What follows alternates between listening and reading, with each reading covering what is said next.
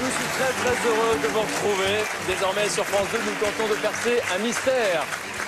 Quel est le secret de ceux qui ont eu la folie de croire en leurs rêves? Quels obstacles ont-ils surmonté Accepteront-ils eh bien, de nous transmettre leur expérience? Ce soir, nous recevons eh bien, un artiste populaire au sens noble du terme. Il est comédien, auteur, metteur en scène et directeur de théâtre. Tout ce qu'il touche se transforme en or. Et sa première pièce, figurez-vous, a été vue par plus de 600 000 personnes. Et elle est jouée depuis 7 ans en Russie. Et ça tombe bien parce qu'à ses côtés ce soir une vraie princesse russe. Euh, nous la connaissons comédienne, mais euh, sa vie, ses films et ses amours sont des aventures romanesques. Énergique et bouillonnante, elle est sur tous les fronts.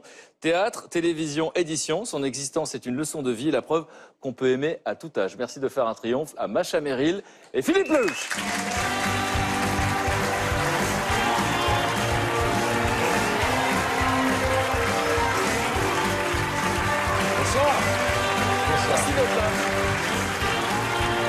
Bonsoir, bonsoir. Bonsoir. Bonsoir, bonsoir. Bonsoir. Ce que je peux vous dire, Macha, c'est que avec Philippe, euh, on est ravis de vous recevoir parce que vous faites partie de ces êtres humains qui ont réalisé certains de leurs rêves. J'ai fait une promesse au public en disant que vous alliez accepter peut-être de transmettre ça, parce que ça se transmet. Est-ce que vous êtes d'accord l'un et l'autre avec ce principe déjà? Absolument. Vous avez réalisé beaucoup de vos rêves? Absolument. Ouais, pas tous, mais beaucoup, et je suis content. Non, surtout que euh, c'est nécessaire et puis qu'on est des gens formidables. Donc il faut absolument que ça serve un peu. hein. et que ça, et que ça sache. Alors donc, euh, euh, j'ai plein de questions à vous poser, bien entendu, mais j'ai demandé à des camarades de m'aider à, à mieux vous cerner parce qu'ils ont des questions euh, différentes. Alors je vais vous les présenter comme ça dans le désordre. Euh, L'une d'entre elles est une féministe assumée. Elle vient de sortir un livre qui est un carton chez Flammarion. Ça s'appelle, et ça va vous parler, Un homme sur deux est une femme. Et son point de vue m'intéresse, mesdames, messieurs, c'est Noémie Delattre. Noémie, vous êtes contente de voir nos invités Ah bah, particulièrement, effectivement, euh, vous avez une vision euh, des femmes, euh, de, de la sexualité, de l'amour, du corps, de la nudité, euh, que votre vie illustre et que je trouve absolument salutaire. Et je trouve que vous êtes une magnifique féministe, même si je sais que ce mot euh, vous dérange Oui, un peu. c'est Voilà. un cliché. Mais enfin, vous savez que Romain Gary a dit que Jésus-Christ était une femme. Mais oui. Que Jésus-Christ était en tout cas la part féminine de l'humanité. Je suis Et que dans, et que dans la représentation de la scène, il paraît qu'effectivement, il y a plein Voilà. d'indices qui montrent que c'est une Voilà. femme et que même elle est enceinte. Allez, soyons folles. Nouveau on est dossier, parti, on change totalement Voilà. conducteur, je jette toutes mes fiches, on change de On sujet change ce tout. soir. On change tout. Euh, et, et Philippe, je suis aussi ravie de recevoir Philippe, euh, évidemment pour les mêmes raisons. hein, Vous êtes un grand féministe, non, je déconne. Non, Non, mais oui, non, mais parce que justement, vous, avez, vous revendiquez être macho, je revendique être féministe et j'ai hâte de voir comment on va très bien s'entendre tous les deux. Mais j'en suis sûr. J'ai hâte de voir comment on va bien s'entendre, vous avez vu, vous avez le choix. Ouais, vous avez- ça promet. Bon, avec nous ce soir, c'est une ancienne prof de sciences naturelles. Elle est reconvertie en humoriste surdouée. Vous l'entendez le mercredi matin sur France Inter. Et toutes les semaines ici, elle nous fait partager sa passion pour les savants. Mesdames, messieurs, c'est Nicole Ferroni. Oui, bonjour, bonjour. Euh, alors, moi, je, moi je, je suis, je suis vilaine parce que j'ai laissé traîner mes oreilles au moment du maquillage et, et j'ai entendu euh, Macha Meryl dire non, ne gommez pas trop euh, euh, ces traces du temps. Et donc, j'ai hâte de voir comment vous appliquez ça à votre vie. Et puis après, concernant Monsieur Lelouch, j'ai aussi laissé traîner mes oreilles, mais cette fois-ci à la cantine. Euh, j'ai entendu. chose, non? Non, Non. non, non, j'ai entendu que vous ne, vous ne consommiez plus de gluten Ouais, euh, suite voilà, au fait que, que votre femme ait décidé ça. Et donc, j'ai hâte de voir quels sont les choix bouleversants euh, qui guident votre vie. Mais c'était, voilà, j'aurais demandé de donner envie aux téléspectateurs de regarder l'émission. Ça va marcher. Et on a envie de savoir. Voilà. Et puis un, un camarade qui est là sur scène, qui triomphe en ce moment au point virgule dans son one match show, qui est désopilant et très attachant. Et puis euh, chaque semaine dans cette émission, eh bien, il révèle les invités avec la fameuse interview inversée. Noman Osni. Il est mignon, hein, il a joli sourire. Merci, bah, je vais rougir. C'est la première fois qu'une Vous arrivez à princesse me fait un rougir avec compliment. votre teint, là Vous arrivez à... Ah ouais, mais ils m'ont mis une dose, c'est vrai. Je peux rougir tranquillement, ils m'ont mis un truc, je peux rougir tranquillement. Alors, vous êtes flatté de rencontrer une princesse pour la première fois. Bon, Je- jamais ouais, vous avez- jamais. Qu'est-ce que vous voulez hein, j'ai- pas vous un physique de prince vous charmant, je pense. Euh, Merci, Dieu. Et puis, on a euh, l'honneur, chaque semaine, d'avoir euh, à nos côtés quelqu'un qui est un grand écrivain, cinéaste et surtout homme engagé, et qui nous présente chaque semaine des gens formidables qui changent le monde. C'est une des séquences préférées des téléspectateurs, mesdames, messieurs. C'est Alexandre Jardin. Bonsoir Alexandre. Bonsoir. Et donc, ce soir, vous allez nous présenter quelqu'un qui est encore mieux que tous les autres, c'est ça Je dis ça chaque semaine. Ça, c'est formidable. Quelqu'un je pour qui j'ai une tendresse infinie. On a 6 millions de chômeurs en France et tout le monde en a fait soit l'expérience, soit l'a vue autour de soi. Quand on envoie des CV, on n'a jamais de réponse. Eh bien, l'homme qu'on va recevoir ce soir a trouvé une méthode pour que tous les gens qui rentrent dans son dispositif ont l'entretien d'embauche dans les 10 minutes. Ils arrivent tout à poil ou quoi font Vous euh, allez voir, c'est extraordinairement simple, pragmatique, efficace. Il s'appelle Paul Lewandowski. Dans les quartiers, on l'appelle Paul l'emploi. Il est absolument jubilatoire. Ça, c'est du teaser. hein. Je vous crois. Ça, c'est du teaser. Ça, c'est du teaser. hein. Et alors attendez, pour donner aux téléspectateurs envie eh bien, euh, d'écouter vos histoires, votre vie, je voudrais donner deux images de votre vie, à l'un et à l'autre. Euh, je voudrais que les gens sachent que la personne qui est en face de nous a été une petite fille, et j'ai une image de cette petite fille qui est revenue du Maroc, qui venait de perdre son papa, et qui est dans la banlieue parisienne, dans un pavillon glacial. Cette mère élève trois filles, dont vous. C'était l'hiver 48, un hiver particulièrement rigoureux. Et je pensais que je ne me réchaufferais jamais. J'avais huit couvertures, mais la glace, elle était en moi, parce que je venais du Maroc et j'avais pas connu des froids pareils. Et tout d'un coup, je me suis dit, bon, alors il faut lutter contre ça. Et qu'est-ce que c'est? C'est la prison de n'être personne. Il faut un jour que je devienne une femme chaude. C'est une petite fille.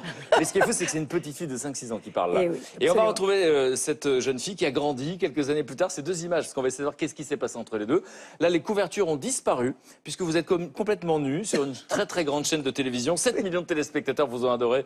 Je prends un seul exemple hein, dans votre carrière, dans ce de film qui s'appelait À 10 minutes des naturistes. Et donc là, c'est la liberté totale, des millions de gens qui vous regardent. Et d'un seul coup, vous vous faites remarquer, une fois de plus, si j'ose dire, Alors c'est un autre sujet. C'est que j'en ai marre de la dictature de la jeunesse et qu'on dise que la beauté n'est que dans le camp de la jeunesse. Que je voulais montrer qu'il y a d'autres beautés et qui sont des beautés euh, qu'il faut mieux comprendre, mieux connaître et qui sont immenses. Bon, Voilà, comment cette petite fille, en tout cas, est passée euh, bah, de, cette situation-là à ce que vous avez vécu par la suite C'est ça qu'on qu'on se demande, Ah, évidemment. Donc, quel arc Et, et- et- et effectivement, et Philippe Lelouch, là aussi milieu modeste, un petit garçon qui regarde avec sa maman les films et elle arrête pas de parler de Belmondo, elle le trouve formidable, Belmondo. Et quelques années plus tard, eh bien, lorsque vous triomphez sur scène, qui est dans la salle à chaque fois? Jean-Paul Belmondo. Et un jour, dans une interview, on lui demande quelle est son émission préférée, et il parle de l'émission Top Gear que vous présentez sur RMC Découverte. Et il dit, mon émission préférée, c'est celle présentée par mon ami Philippe Lelouch. Ouais. J'imagine que vous avez encadré ça.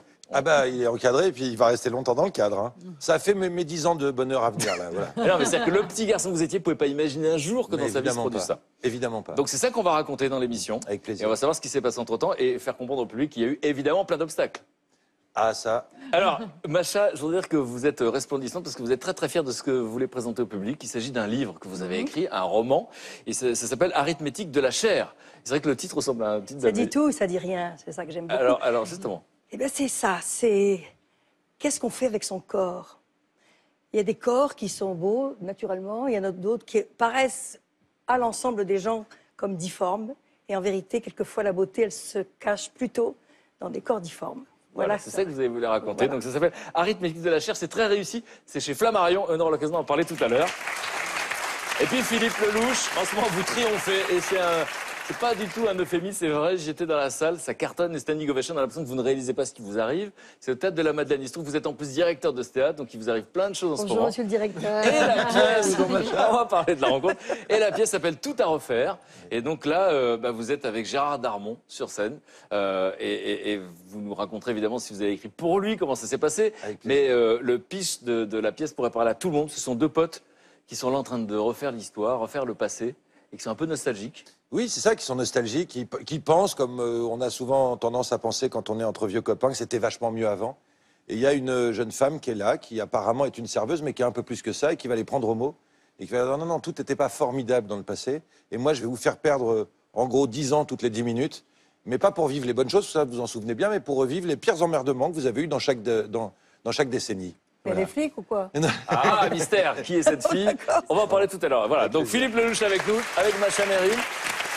Et sans plus tarder, on démarre par euh, ben, cette enfance, d'accord? L'enfance de cette petite princesse. Vous allez voir que c'est pas une formule. Macha Meryl. Ah, ah. Alors Macha, la, la première image qu'on pourrait donner aux téléspectateurs, si votre vie était un film, c'est cette petite fille de 4 ans qui est confrontée à quelque chose auquel tout être humain va être confronté un jour, c'est que vous perdez votre tortue. C'est mon premier grand chagrin. Alors, j'avais 4 ans et j'avais cette petite tortue dans une caisse en carton. Je l'observais, je la nourrissais, je crois que je l'aimais. Et un jour, elle, a voulu traverser la route, elle s'est fait écraser par une voiture. Et quand j'ai vu son petit corps broyé et surtout le sang sur la chaussée, j'ai vu la mort. J'ai eu un chagrin épouvantable. J'ai pleuré pendant huit jours j'étais inconsolable. Et dès ce moment, j'ai compris que la mort était la grande question, que toute ma vie, c'était ça qui me poursuivrait, qui m'intéresserait, parce que c'est ça la seule grande question. Six mois plus tard, mon papa est allé chercher le corps de son fils, mon frère aîné, qui était mort la veille de l'armistice au front en Allemagne. Il était tout à fait désespéré. Il a pris le premier bateau. Il a attrapé le typhus sur le bateau. Et il est mort à Paris quelques mois avant que la pénicilline entre dans les hôpitaux civils. C'est-à-dire qu'il a été foudroyé. Il est mort en 15 jours. Ma mère n'a pas vu. Et nous avons eu la visite de deux bonnes sœurs qui sont venues et qui nous ont dit, à Rabat, dans cette maison où nous habitions, votre papa est mort. Et je crois que de ne pas avoir vu le corps de mon père, je n'ai pas compris qu'il est mort et pour moi, il n'est pas mort. Et je plains tous les hommes de ma vie parce que je pense que c'est mon père que j'ai cherché en eux, en sachant que jamais il serait à la hauteur, parce que mon père était formidable, il était beau, il était grand, il était russe, il était prince, il, il avait Avec toutes grosse pression pour tous il les hommes qui ont croisé votre, monde, votre route. Et donc j'ai pensé que je ne trouverais jamais. Et je viens seulement à 75 ans de le trouver Au moment où vous n'y croyiez plus. au moment où je ne l'attendais plus. Et il là, s'appelle bien entendu. Il s'appelle. Toi, ça va t'émouvoir Oui. parce que c'est son unique fan. Il s'appelle Michel Legrand. Non, non, mais c'est une incroyable histoire qu'on racontera tout à l'heure, On parce qu'on va parler d'amour dans l'émission. Voilà. Alors, on dit, depuis le début de l'émission, que vous êtes princesse, on peut expliquer aux téléspectateurs pourquoi. Mhm. Macha Merrill, c'est votre nom d'actrice. Votre vrai nom, vous allez le dire qu'une seule fois, puis je vais interroger mes camarades dans 10 minutes pour voir s'ils retiennent votre nom. Je m'appelle Maria Magdalena Vladimirovna Gagarina. Merde. Allez. Ça fait peur. Attendez, j'ai pas donné mon titre. Parce que je suis Kniezhna Maria Magdalena Vladimirovna. Je suis princesse, je suis fille du prince. Et donc, votre papa quitte la Russie? Alors, bien sûr, après la Révolution, mon père et ma mère, qui étaient cousins, ont quitté, elle, à travers la Bessarabie, la Roumanie, et lui, par un croisé, un bateau, qui est allé rejoindre l'armée française, qui était alliée de l'armée impériale. Et vous savez que quand les Russes immigraient, venaient en Europe, comme ils étaient polyglottes, je parle de l'aristocratie évidemment, hein, c'est-à-dire qu'ils parlaient huit langues, ils ont choisi leur pays sur celui qui a donné les papiers en premier. Et c'est les Français qui lui ont donné ces papiers les premiers. Et, mon père a pu concourir pour être ingénieur agronome au Maroc. Et il y avait une petite communauté russe avec l'église, le cours de chant, le cours de danse, etc. Et nous avons vécu des jours très heureux au Maroc jusqu'à sa mort. Voilà. Est-ce que quelqu'un se rappelle du nom euh, original Allez. Maria Magdalena hum, hum, hum, Vladimir, je suis fille de Vladimir. Eh, ça fait pas Ah, du tout Vladimir, princesse. Hein. Suis- Galgarina après, Ça fait agent du KGB. Plus. euh, Je sens vraiment. sous la musique. nanana, nanana, Mais c'est ça, nanana. c'est surtout l'accent qu'il faut. Ah, ça, c'est la James Bond girl qui trahit James Bond. Ça fait vraiment. euh, Gagarina. Garina. Et donc, précisément, euh, lorsque euh, vous vous retrouvez comme ça, orpheline de père, votre maman a donc à sa charge trois filles, et elle va échanger votre maison de rabat contre une maison à Bagnon en, C'était l'époque de la. Ensuite, on pouvait faire des échanges. Et elle était persuadée que ce serait aussi bien que la jolie villa que nous avions à Rabat. Tu parles, c'était un petit pavillon de Meulière, euh, tout défoncé, euh, plus de carreaux dans les fenêtres. Et il y avait une chaudière dans le sous-sol. Et le seul endroit où il faisait chaud, c'était à côté de la chaudière. Et j'ai connu dans ce sous-sol des fêtes russes. On était pauvres, comme on tirait bien par la queue. Et tous les Russes de l'immigration venaient chez nous. Et ça chantait, ça dansait. Il y avait une vraie pauvreté, une vraie Oui. précarité, et il y avait une joie de vivre. Plus que ça, il y avait un honneur. C'est-à-dire, on va niquer la misère. Et c'est ce qui se passait, C'est c'est ce que votre mère disait aussi. Alors elle, elle trouvait qu'il fallait de toute façon être mieux que les autres. Et je pense qu'elle m'a transmis ce truc-là, qui est un caractère de supériorité, un complexe de supériorité. Il n'y a aucun doute. Hein Toi aussi, un peu. hein, Ah, il y a un peu de ça, Mais forcément. est-ce qu'elle vous a transmis l'autodérision avec? Ah oui, l'humour, l'humour, l'humour. C'est à la fois fragile et précaire, et à la fois il y a une sorte de force, donc de la joie de vivre. Votre mère y tient, et à ce moment-là, vos rêves de petite fille, c'est quoi? Je pensais le monde du spectacle parce que je voyais que c'était dans la lumière quand même. Alors je pensais, comme j'étais très douée pour le dessin, je pensais être décoratrice, faire des décors de théâtre. Puis nous vivions dans le théâtre. Euh, Nous jouions de tous les instruments, moi je jouais du piano, on chantait. Euh, Les arts, ça fait partie de la vie très tôt dans, dans une famille russe, Mais alors- enfin d'origine russe. Ce qui est intéressant, c'est qu'on essaie de comprendre pourquoi vous êtes exposé aujourd'hui, pourquoi le public vous connaît, etc. Et ça a démarré très, mais très, très, très, très jeune. Bébé Cadom. Alors, Tout à fait, gagnais tous les concours. Moi, je suis étonné. Bébé Cadom, c'est un titre.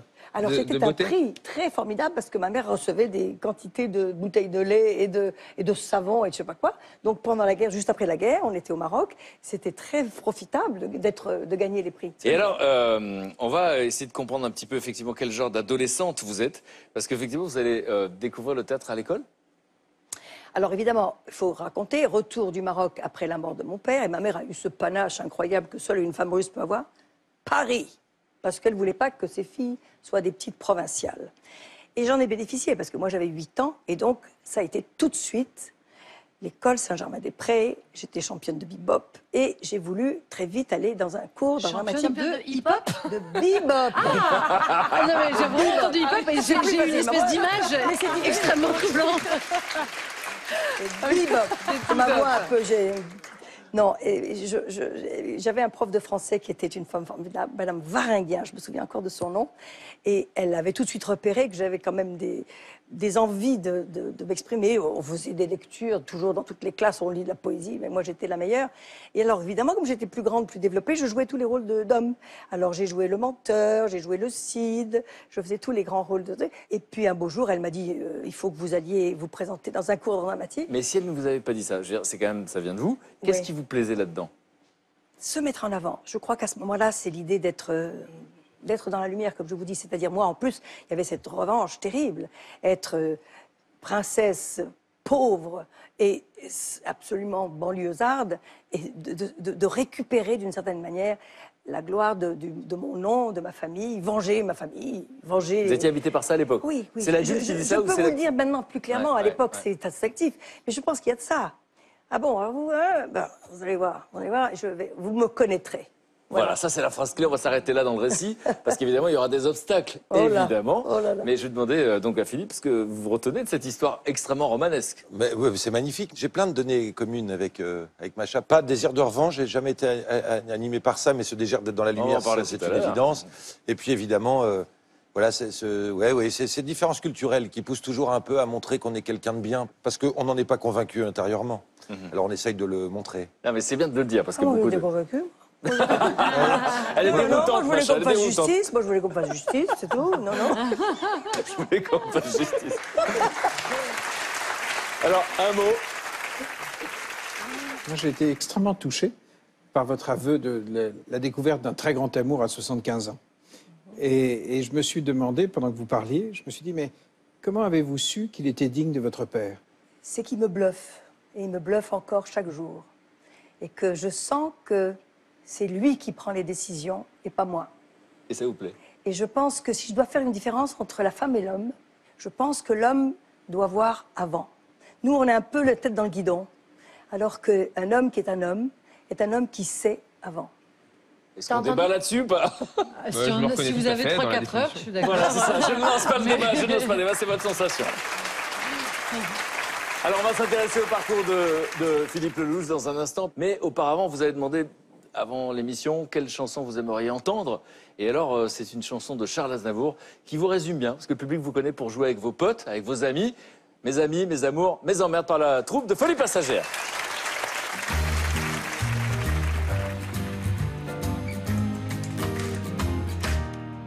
J'ai travaillé des années sans répit, jour et nuit. pour réussir, pour gravir les sommets. En oubliant souvent ma course contre le temps. Mes amis, mes amours, mes emmerdes. À corps perdu, Corps perdu, j'ai couru, j'ai couru, assoiffé, assoiffé, obstiné. vers l'horizon, l'illusion vers l'abstrait. En sacrifiant, c'est navrant, je m'en accuse à présent. Mes amis, mes amours, mes emmerdes. Mes amis, c'était tout en partage. En partage. Mes amours faisaient très bien l'amour. Oh oui. Mes emmerdes étaient ceux de notre âge Yes. Où l'argent c'est dommage et peuronnait nos jours Pour être fier, fier, Je suis très fière. très fier. Entre nous, Entre nous, je l'avoue. J'ai fait ma vie, mais il y a un mais. Je donnerai ce que j'ai pour retrouver, je l'admets, mes amis, mes amours, mes emmerdes. Merci beaucoup. Merci. Merci. Philippe Lelouch, avec Thomas Nucci, Aurore Delplace et Norman Smith. Bravo Vous chantez vachement bien. Oh, c'est gentil. Bon, c'est vrai qu'on a l'impression que vous êtes fait pour ça, d'accord Ben, en tout cas, j'adore ça. Mais on va voir que vous avez fait pas mal de détours dans votre vie. Mais C'est la vie de Philippe Lelouch.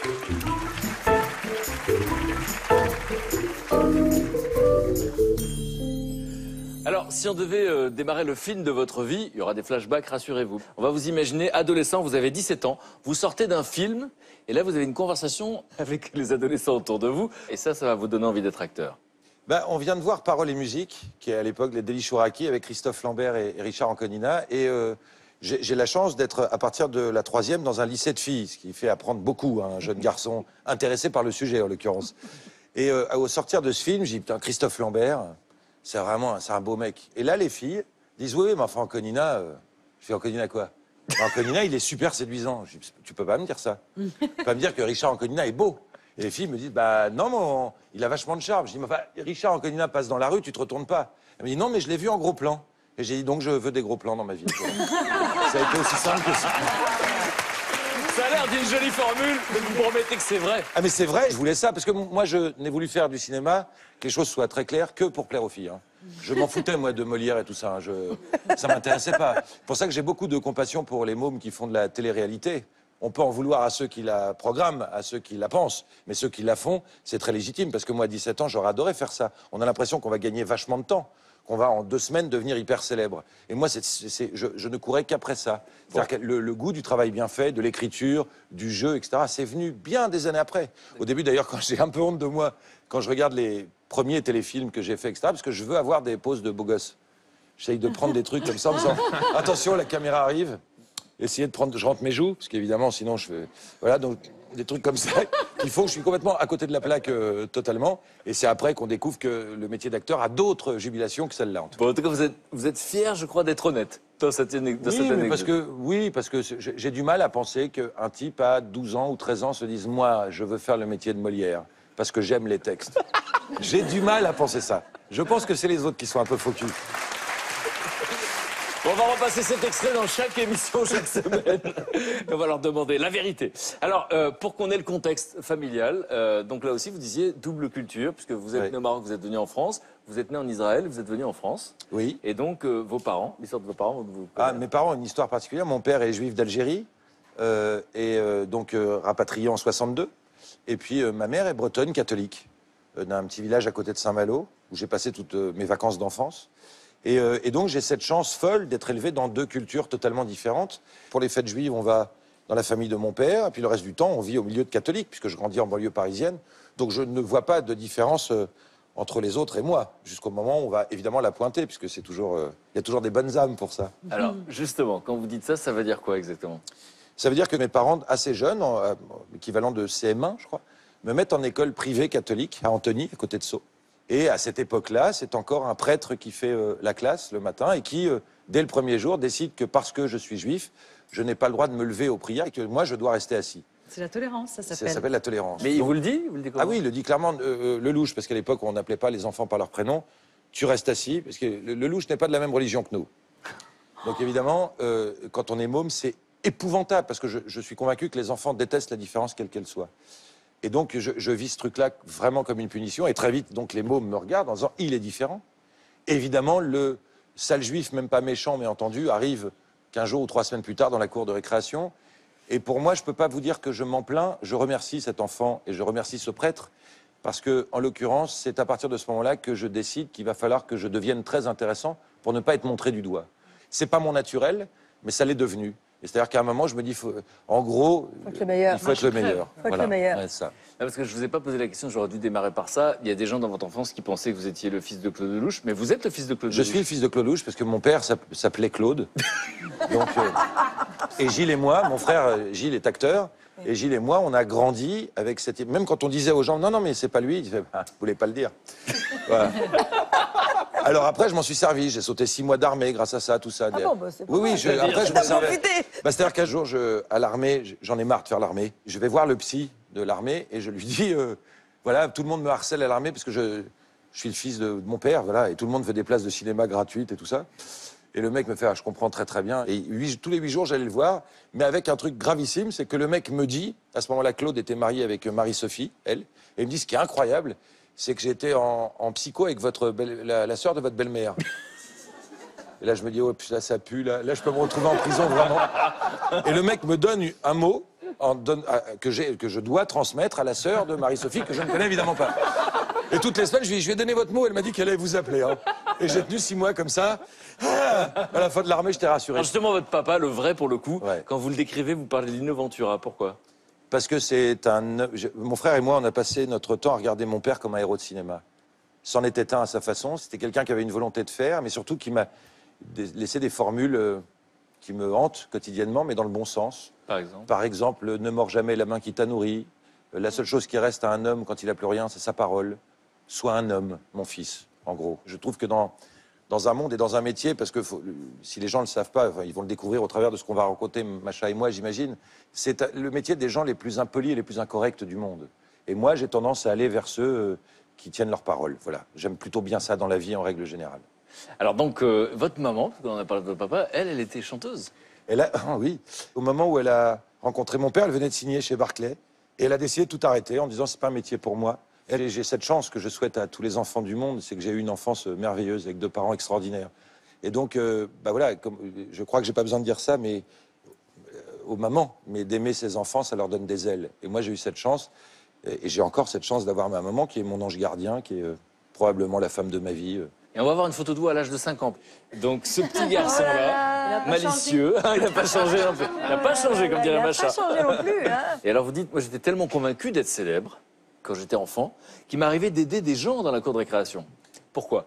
Oui, parce que alors d'abord parce que j'avais ce truc-là de défendre. euh, je- je- J'espère garder et encore l'orphelin. la veuve et l'orphelin. Ouais. Et quand on emmerdait le petit gros dans la classe, tout ça, je le défendais, mais quand même avec cette arrière-pensée totalement mégalomaniaque de dire un jour il sera hyper content. Parce que quand il me verra à la télé, il se dira c'est ce mec-là qui m'a défendu dans la cour. C'est énorme Pardon de- d'avoir.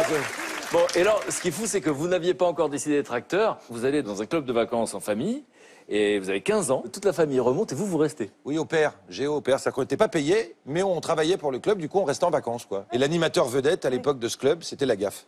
Vincent Lagaffe. C'était Vincent Lagaffe qui était. Et il euh, vous épatez il m'ép- mais il était épatant. Je me souviens, il sautait sur les cars, parce que les, gens de l'aéroport arrivaient en car, bien sûr, il, sa- il se mettait sur un cocotier, il sautait sur le car. Donc les gens faisaient waouh Tout d'un coup, sa tête descendait du car, comme ça. Il était complètement dingue, mais complètement dingue. Il sautait du troisième étage, du truc dans la piscine. Toute la journée, il hurlait au micro et tout ça. Et il avait déjà ce sens du running gag et tout ça, parce que je me souviens à l'époque, il imitait la- l'accent marocain, ça faisait rire tous les gens. Alors il commençait, quand les gens arrivaient, il le connaissaient pas, il disait toujours Je suis très content d'être en France. Bon, les gens riaient. Il faisait ça 15 fois par jour et à la- au bout d'une semaine, il faisait juste j'ai et tout le monde riait. Ouais. Je suis l'attaché de presse de la gaffe, j'ai l'impression. que- Il pensait pas qu'il allait passer autant de temps. bon, en tout cas, ce que je veux comprendre, c'est que ce petit gamin-là fait quoi, du coup, pour payer son séjour? Il fait des spectacles? Ah non, non, non, je, bah oui, non, je, Vous avez je suis 15 ans, Géo là. Mini Club. Ça, je m'occupe des enfants. D'accord. Vous Ouais, n'êtes ouais. pas encore sur scène. Non, non, mais moi, j'ai- ça- euh, pardon, hein, je vais revenir, vous allez trouver que je suis un peu obsédé sexuel, ce qui est possible dans le fond. Mais c'était que pour les filles. Hein, moi, euh, Donc ça viendra plus Voilà, la- le, le soir, tout ça, je savais que ça allait être vachement sympa parce qu'il y avait le nightclub et tout ça. La journée, je bossais, et puis la nuit. euh, D'accord. Je Moi, je pensais, que c'était- je non, pouvais. je pensais que c'était les prémices. Je pensais que c'était les prémices. Ah non, que non, je n'avais rien à foutre sur du spectacle. D'accord. Pas encore. C'était. Ben, je me demande pourquoi je suis en train de raconter ça, du coup. Bah, pour les filles. Parce que c'est un moteur. Hein. Donc merci de cette franchise. Macha, un regard sur ce- cette tranche de vie. Qu'est-ce que vous retenez du, du gaillard? Moi, j'ai retenu qu'il a dit que sa mère était la femme de sa vie. Ça, c'est Bah, Comme vous avec le père, votre La père même chose. On est toute la vie des enfants. On est les enfants de quelqu'un et on veut faire plaisir à maman ou à papa. Ça finit pas, ça finit jamais. Vous m'avez demandé pourquoi, euh, Michel. C'est que Michel, je veux lui plaire. Je veux qu'il soit émerveillé à tout moment. Et donc, ça me donne des ailes. Et donc, je vais l'émerveiller. Voilà, c'est très simple. On revient toujours à Michel, vous avez remarqué? Mais oui, bien sûr. J'adore. On va parler avec le scientifique de plein de choses. Parce que Michel disait. Alors, moi, il y a quand même le, le truc de Vincent Lagaffe qui saute du cocotier sur le bus et qui met sa tête. Non, je pense à ça parce que moi, euh, avec mes origines, ma barbe, etc., je saute d'un cocotier sur le toit d'un bus et je monte ma tête comme ça. Il y a l'état d'urgence qui est décrété, donc tu vois. je pense que je vais flipper tout le monde. C'était une autre époque. Alexandre. Euh, euh, je vous découvre capable de ne pas vous défendre, d'accepter tout ce qui peut y avoir de ridicule dans votre vie et vous me touchez énormément. Merci beaucoup. Voilà. Merci. Merci en tout cas de nous raconter votre histoire, euh, puisque euh, effectivement, euh, on apprend à vous connaître à travers votre itinéraire.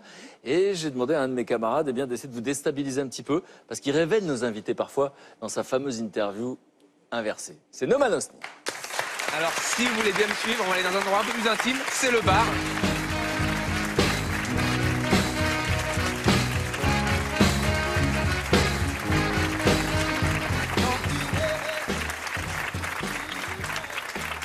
Je vous en prie, installez-vous. Alors, on va faire une interview un peu particulière. Je vous propose un jeu, en fait. Euh, je vais vous inverser. Là, vous avez eu le temps de vous connaître un petit peu. Euh, donc, c'est simple. Philippe, vous allez devenir Macha. Macha, vous allez devenir Philippe. Si vous avez des, des petits trucs à vous donner pour... Passe-moi euh, ta veste, moi je vais mettre les marrons. Hein alors, on va, on va y aller tout de suite. Donc, on va commencer par les femmes. hein. C'est évidemment la galanterie. Alors, Macha, à l'époque, c'est vrai qu'on ne dansait pas le soir. Il y avait des après-midi dansants. C'était Oui. un peu en mode goûter d'anniversaire, hein, 16h, 18h. Et alors, euh, vous y croisez là-bas toutes, euh, toutes les étoiles montantes, Guy Bedos, Niki de Saint-Phal. Et alors, vos sœurs s'indignent et disent de vous, elles tournent pute. Alors, ça vous fait quoi et comment vous réagissez à ce moment-là? Parce que mes sœurs ont jamais compris quel était vraiment mon fonctionnement. J'aimais les hommes, j'aimais la vie. J'aimais tout dans la vie. J'avais envie de, de briller, j'avais envie de donner la lumière. Et les hommes, c'était encore un territoire inconnu. Et j'avais envie de connaître les hommes parce que j'avais envie de connaître la vie. Eh ben, ça fait plaisir de savoir. Alors, je vais réagir à ce que, ce que vous, vous disiez tout à l'heure, que vous étiez championne de, de bebop. Oui. Et alors, euh, vous pouvez m'expliquer ce que c'est que le bebop? Vous ne connaissez pas le bebop? Non, je connais pas. Bebop Lula, ça vous dit rien, par exemple. Alors, si c'est bebop, Lula, ça me dit Eh ben alors, Alors, comment on dansait Bebop Lula? Je sais pas, est-ce que vous pouvez nous montrer. Est-ce que. Voilà, je vais vous Musique, montrer. musique des bebop? Allez-y, c'est magnifique. Ah, Ça fait bien parce que je sais pas bien le lancer, mais j'allais faire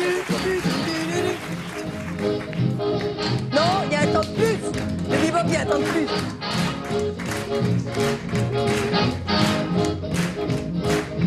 Pardon.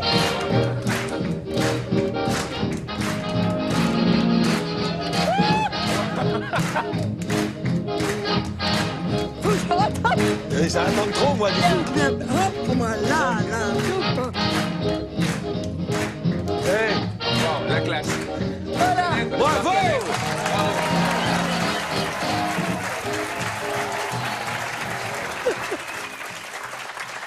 Bravo, je suis impressionné. Euh, J'ai l'impression, Macha, que Philippe dansait beaucoup mieux le bebop. Oui, oui, oui, impressionnant. hein. Bah, bah oui. Philippe, euh, je vais revenir aussi sur ce que vous avez dit tout à l'heure, euh, c'est-à-dire que euh, c'est vrai que votre père s'appelait également Claude Lelouch, Euh, donc vous en êtes servi notamment pour le service militaire.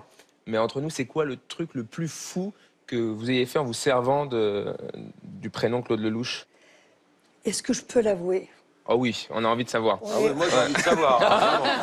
hein. Macha a vraiment envie de savoir. ben, C'est-à-dire qu'un jour, je me suis présentée chez Claude Lelouch, le cinéaste. et Je lui ai dit, mon vieux, tu, tu me donnes un rôle ou je te casse la gueule? Je suis ton fils Je suis ton fils. Il a mis quand même euh, 15 ans. Enfin, ça y est, il vient de me proposer un rôle. Et je vais le tourner avec mon père. C'est magnifique, on a hâte de voir ce film. Alors, Macha, euh, vous avez déclaré que euh, la notion de couple était complètement obsolète et que maintenant, en fait, euh, ça s'envisageait à trois, le couple en fait euh, trinôme, quoi. Euh, moi, je- c'est ce que vous avez dit. Hein. J'ai jamais dit une connerie pareille. je me suis senti. Alors là, je- S'il y a bien une fille qui croit au couple, c'est moi. Donc, Je crois que les couples peuvent changer. C'est totalement autre chose. Je crois qu'on peut aimer pour une période donnée, et à un moment, ce couple est révolu, et on passe à un deuxième couple. On a un quota d'histoires d'amour dans la vie. Voilà, on, a, on les vit pleinement, et puis après on passe à autre chose. Mais à trois, non, ça, Donc, ça fait pas de ménage. Non, pas de trinôme. Vous, vous me proposez quoi, jeune homme Pas du tout, un peu étonnant. hein. Alors, Philippe, euh, vous avez euh, sorti un roman qui s'appelle J'en ai marre d'être juif, j'ai envie d'arrêter. C'est le titre de votre livre. Euh, alors, c'est vrai, c'est comme la clope, c'est dur d'arrêter? Mais ça ne s'arrête pas. Alors c'est ça la question. C'est que non seulement j'en ai pas marre d'être juif, mais je suis fier d'être juif. C'est ma différence, et c'est de ma différence que je sors mon talent, mon énergie et la raison pour laquelle je suis ici ce soir, pour vous en parler.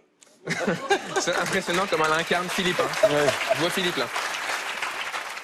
Alors, Macha, vous rencontrez Michel Legrand en 1964, la première fois. Alors, euh, vous savez que vous êtes fait l'un pour l'autre, mais il se passe rien. Il se passe rien du tout. Et 50 ans plus tard, vous le retrouvez et vous vous mariez. Euh, c'est impressionnant. Alors, vous doit certainement vous regarder.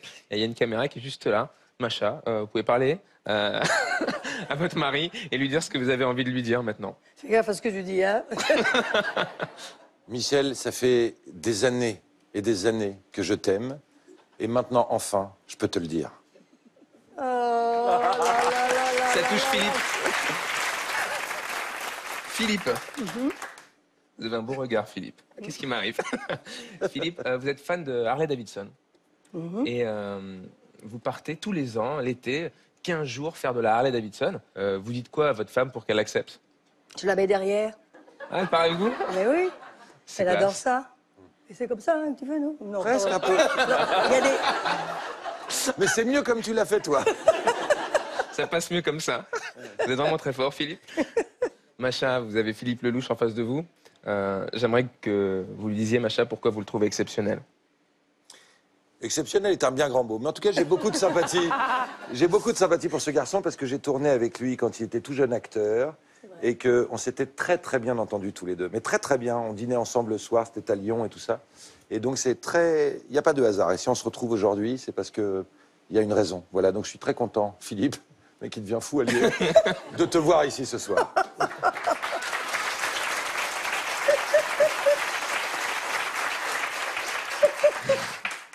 Philippe, je dois le dire parce que les, les gens ne, ne- vous sentez très bon. Tu sais que t'es pas, t'es pas, t'es pas dans un club à partir.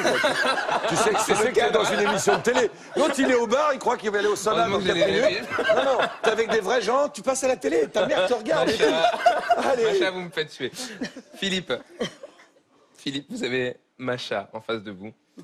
Et euh, j'aimerais que vous lui disiez également, euh, je vous retourne la question, pourquoi vous trouvez que Macha Merrill est, est une femme exceptionnelle? C'est parce que vous pourriez être ma mère. Et comme je sais que vous adorez votre mère, je sais que vous m'adorez aussi. Oui. Mais c'est exact, quand nous avons tourné un film il y a quelques années ensemble, on a tout de suite senti qu'on était de la même famille. Et la famille, c'est quelque chose qui se trouve au cours de la vie. C'est pas forcément les parents, les proches, etc. Il y a des familles qui se constituent au cours de la vie. Et je sais qu'il est, je suis de la même famille. Plus qui je suis là. Plus qui suis. On peut les applaudir. Macha Lelouch et Philippe Merrill. Merci à vous. Merci infiniment. Donc, on va. Merci Neumann Osni. Bon, pour les Harley Davidson, donc 15 jours l'été. Ouais. Et donc, vous y prenez comment pour faire accepter le, le- le concept? Bah, oh, non, mais ça passe assez facilement. Je crois qu'il y a un moment où elle en a peut-être un peu marre de me voir aussi. C'est pas. Non, mais parce que c'est essentiel. Voilà, c'est un truc que j'aime bien. C'est un moment de, de copains. euh, c'est assez essentiel dans ma vie les copains. Et puis c'est un moment où je où je, où je fais rien d'intéressant vraiment. Ni dans la discussion. On parle de moto. euh, on- voilà, on dort dans des tentes et tout ça. Ça me, ça me fascine. C'est tellement reposant d'être con. Non, mais vous voyez ce que je veux dire. Philippe Lelouch, allez, on continue votre vie, les obstacles désormais de la vie de Philippe Lelouch.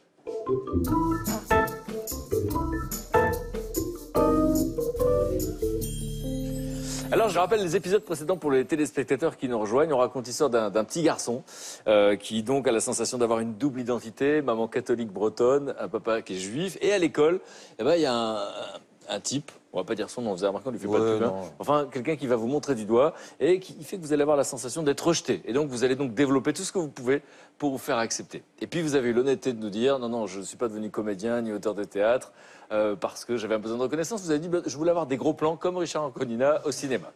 Et puis, euh, on se dit depuis tout à l'heure que vous ne nous avez pas encore parlé de ce métier et dans votre vie. Et, euh, et finalement, vous prenez quand même des cours de théâtre. Mais ça n'a pas duré longtemps. Non, parce que c'est, je, je comprenais pas ce qu'on faisait. C'est-à-dire que moi, je voulais donc être acteur, euh, jouer des rôles et tout ça, et je vais au théâtre, donc je me dis, je- c'est le passage obligé pour devenir comédien. Et je tombe sur un prof de théâtre, vous savez, avec les grandes écharpes, là, qui s'habille en prof de théâtre, quoi. Après, on les retrouve, ceux-là. Il y en a après qui s'habillent en réalisateur, c'est les mêmes, hein, souvent. Avec des grandes écharpes, des chapeaux, tout ça. Genre, je regardais, j'ai du talent, ça se voit. Et, euh, et ce type. euh, Et, euh, et- et ce type nous fait faire du théâtre post-nucléaire, là, vous savez, euh, fait l'arbre, l'enfant, le fœtus, tout ça. Je me dis, mais ça m'emmerde, ça. c'est- Je ne suis pas un chêne.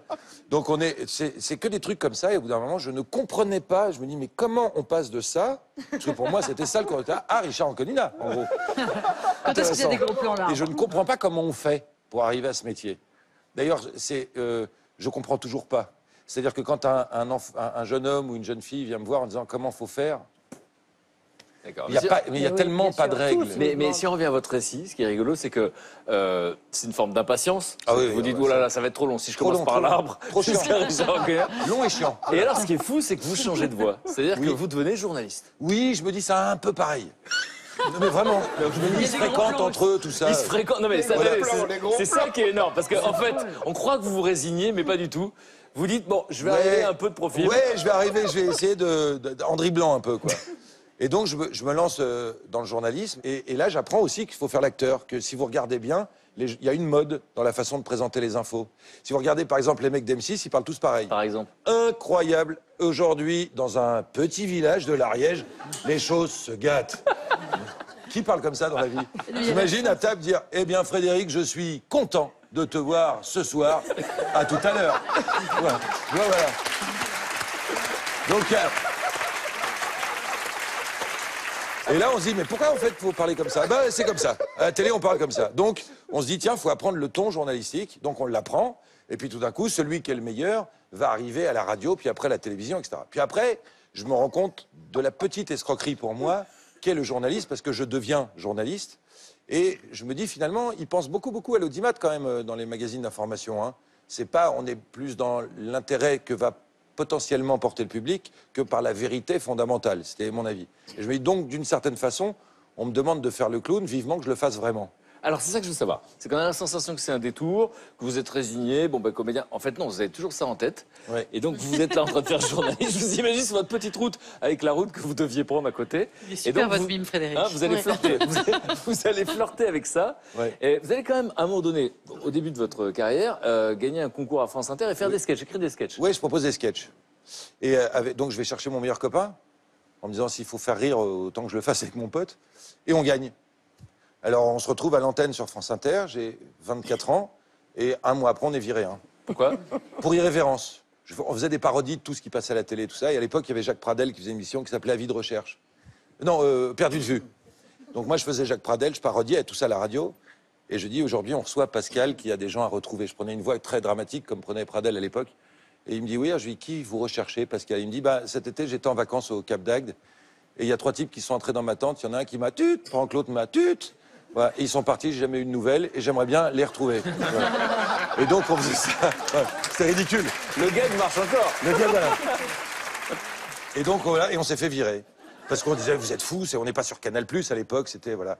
Et donc, je me retrouve après, alors embauché par Stéphane Collaro, qui monte une radio avec Eddie Barclay. Je me retrouve.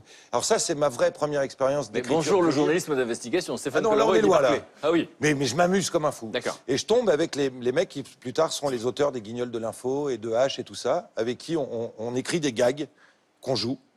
La radio marche pas, on n'est pas assez bon, sûrement.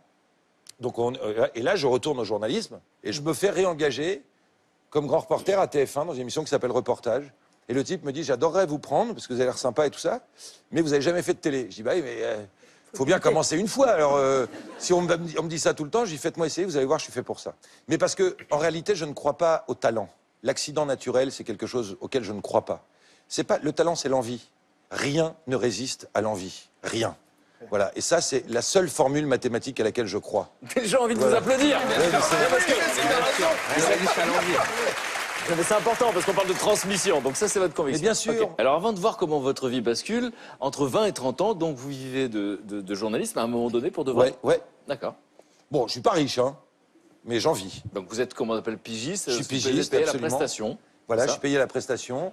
Euh, Il faut trouver du travail à Il chaque fois. faut trouver du boulot. Et un jour, je, je fais, euh, je vais voir euh, Paul Naon et Bernard Benjamin, qui à l'époque dirigent Envoyé spécial. Et, et je leur dis, voilà, il y a un phénomène, parce qu'à l'époque c'était vrai, un phénomène incroyable, c'est le karaoké. Moi, j'y vais parce que j'aime ça. Et j'ai rencontré des fous dans les karaokés, des mecs qui ont trouvé un public en allant chanter tous les soirs, vraiment, et qui du coup abandonnent femmes, enfants, travail, parce que tout d'un coup, ils pensent qu'ils sont devenus stars de la chanson. Et donc je dis, c'est ces types-là que j'ai envie de filmer. Bon, on me donne l'autorisation de faire euh, ce reportage, donc je vais filmer euh, à droite, à gauche, et il y avait, j'essayais de trouver dans tous les milieux sociaux, et il y en avait un qui avait monté un karaoké tous les jeudis soirs chez Castel. Et je trouvais ça très chic. Donc c'est une boîte chic de Paris. bourgeois chanter le jeudi soir des chansons d'Aznavour ou de Michel Legrand au micro et tout ça. Bon. Et une fois que j'ai fini de tourner mes images chez Castel, je pose la caméra et je chante. Et il y a une dame qui est là et qui me regarde chanter. Tout ça, je ne sais absolument pas qui est cette dame. Et qui, à la- quelques minutes après, me dit Vous voulez bien chanter avec moi? Je dis Avec avec plaisir. Et donc, on chante ensemble. Elle me dit Vous chantez vraiment très bien. Tout ça, ah ouais, c'est gentil. Et je dis Mais euh, vous faites quoi, vous? Elle me dit Moi, je suis agent de comédien. Et vous, vous faites quoi Alors, je dis Bah voilà, je suis journaliste pour envoyer spécial, etc. Et elle me dit Je peux prendre votre numéro de pas, suis téléphone comédien Ben non, parce que je l'étais pas. Oh, bah enfin, vous étiez pas un mensonge près. Vous vous foutez de moi ou quoi Non, n'étiez pas une mais non, parce que je peux pas dire je suis comédien, je, je, je, je le suis pas à ce moment-là, Ah, j'en vraiment. reviens pas, d'accord. Oui, mais c'est vachement plus joli ce qui se passe après. Et ça, je lui dois tellement à cette femme. Je vais vous dire son nom et tout, je tease. Je fais comme Alexandre. je tease. Vous avez pris le truc de la maison, pas- Et, et là, euh, elle me rappelle une semaine plus tard, enfin son assistante, en me disant euh, Bonjour, donc je suis assistante de Daniel Guin. Et elle me dit euh, On organise l'anniversaire de Sandrine Bonner la semaine prochaine. Est-ce que vous voulez bien venir chanter Dans Daniel? la même boîte de nuit. dans la même boîte de nuit. Ben, bien sûr. Alors, je me retrouve à une table qu'avec des acteurs et des actrices. Je suis très impressionné, dont Sandrine Bonner. Et elle me dit, elle dit à table, vous allez voir, Philippe, je l'ai fait venir, parce qu'il chante hyper bien. Moi, je suis super gêné de- du truc, en me disant, oh, la honte. Et donc, on va chez Castel après. Elle me dit, va chanter, je chante. Et après cette chanson-là, elle me dit, écoute, je sais pas si tu seras une vedette un jour, mais ce dont je suis sûr, c'est que tu es un acteur. Et si tu veux, je te représente. Et ça, c'est la stricte vérité. Donc, le lendemain matin, j'ai tout arrêté et je suis devenu acteur ce jour-là. Voilà. Incroyable. La vie est plus forte que la fiction. Ouais. Mais alors, ce qui est fou, c'est que une semaine plus tard, vous êtes dans un mariage et vous faites un discours. Mais c'est incroyable, c'est fou. ça, j'avoue que je ne comprends toujours pas cette précipitation dans le temps. C'est-à-dire que je, je- une semaine, exactement une semaine après, j'ai une de mes petites amies anciennes qui m'appelle, avec qui j'étais très ami et qui avait perdu son papa que j'aimais beaucoup et qui me dit voilà, je me marie. On s'est pas vu depuis 4-5 ans, mais est-ce que tu veux bien faire, comme mon père est plus là, le discours à mon mariage? Évidemment, je dis oui. Et à ce mariage, donc je fais mon discours que j'ai écrit, et il y a euh, une dame qui était là, que j'ai connue, qui est sa tante, que j'ai connue plus jeune, quand j'avais 15 ans. Et elle vient, elle me, elle me fait asseoir à côté d'elle, elle me dit, mais qu'est-ce que tu fais maintenant? Je, suis acteur, mais depuis une semaine. alors. elle me dit, alors c'est merveilleux, tu vas rencontrer ma sœur. Et je lui dis, mais c'est qui? Ma, sœur est une réalisatrice, elle s'appelle Marion Sarro.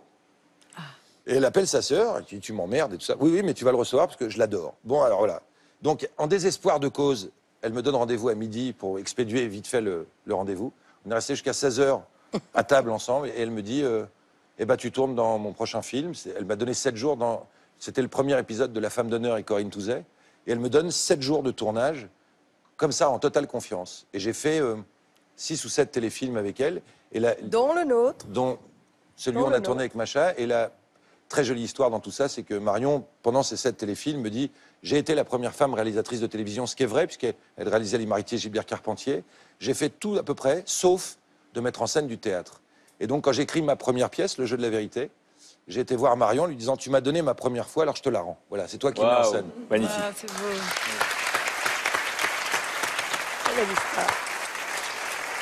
Et, et- et puisque est dans le chapitre euh, les obstacles, on va expliquer là de manière très raccourcie que finalement vous découvrez que voilà, euh, être acteur c'est attendre des coups de fil Oh. et vous n'êtes pas du genre à attendre. Non. Et vous décidez de prendre votre destin en main et vous écrivez une première pièce. Et avant de parler du succès, ça viendra plus tard. C'est vrai que les gens comprennent un peu comment ça se passe quand on a écrit une pièce et qu'on se présente dans les théâtres. Ouais.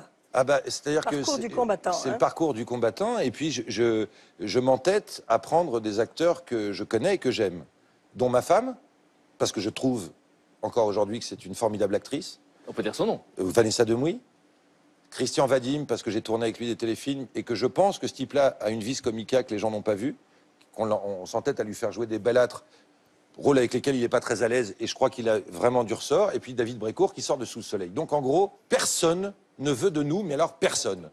Et puis il y a un type, il y a toujours, euh, qui s'appelle Frédéric Houdard, qui travaille proche du directeur de la Comédie de Paris et qui fait exprès, par sympathie, de pousser un peu les autres projets. Et à un moment, euh, son patron lui dit Qu'est-ce qu'on a alors pour le mois de janvier? Il dit Bah, il n'y a que ça. Et le mec dit non mais moi je veux pas de ça. Bah, il dit bah, alors va trouver une pièce, il n'y a, pas- y a pas autre chose. Donc ça c'est vraiment de l'amitié. Donc je le remercie encore. Et donc ce type prend et on lui dit, mon producteur de l'époque, lui dit est-ce que vous voulez coproduire? Il fait non merci non. Oh mon Dieu. Voilà et cette pièce euh, euh, s'est jouée euh, à guichet fermé. 600 000 personnes l'ont. Ouais et elle joue dans 17 pays. Ouais. Mesdames, messieurs. Incroyable. Oh, mais là, ça, c'est Ce que je voudrais comprendre, c'est que il y a plein de gens qui ont des rêves, et puis il y a des obstacles, hein, comme pour tout le monde, et parfois les obstacles ben, fait que on n'a pas la force de continuer. Vous, quand on vous dit non à cette période de votre vie, il se passe quoi? Non, mais ça a toujours été moteur pour moi. C'est un moteur. Oui, c'est un moteur. C'est-à-dire que le. Alors mon père, voilà, pour citer encore, me disait et cette formule magique, et je, la- et je vous la donne, je vous la livre parce que c'est le plus beau cadeau qu'il m'ait fait. Le non, tu l'as déjà, va chercher le oui. Voilà. Moi, je suis toujours surpris quand un type dit je suis fou amoureux de cette femme, bah dis-le lui. Mais elle va me dire non, bah voilà. Alors maintenant, va chercher le oui. Voilà, la transmission. Merci beaucoup. Qu'est-ce que vous ressentez dans ce, dans ce, dans ce que vous venez Ah. d'entendre? La combativité, c'est quand même euh, une caractéristique de nos métiers. hein. Parce que tout le monde essaye de nous refuser. Donc, euh, c'est normal que nous soyons des samouraïs. on est obligé d'y aller. Oh, C'est fou. clair. Alors on dit, c'est la chance. Non, c'est une conviction profonde.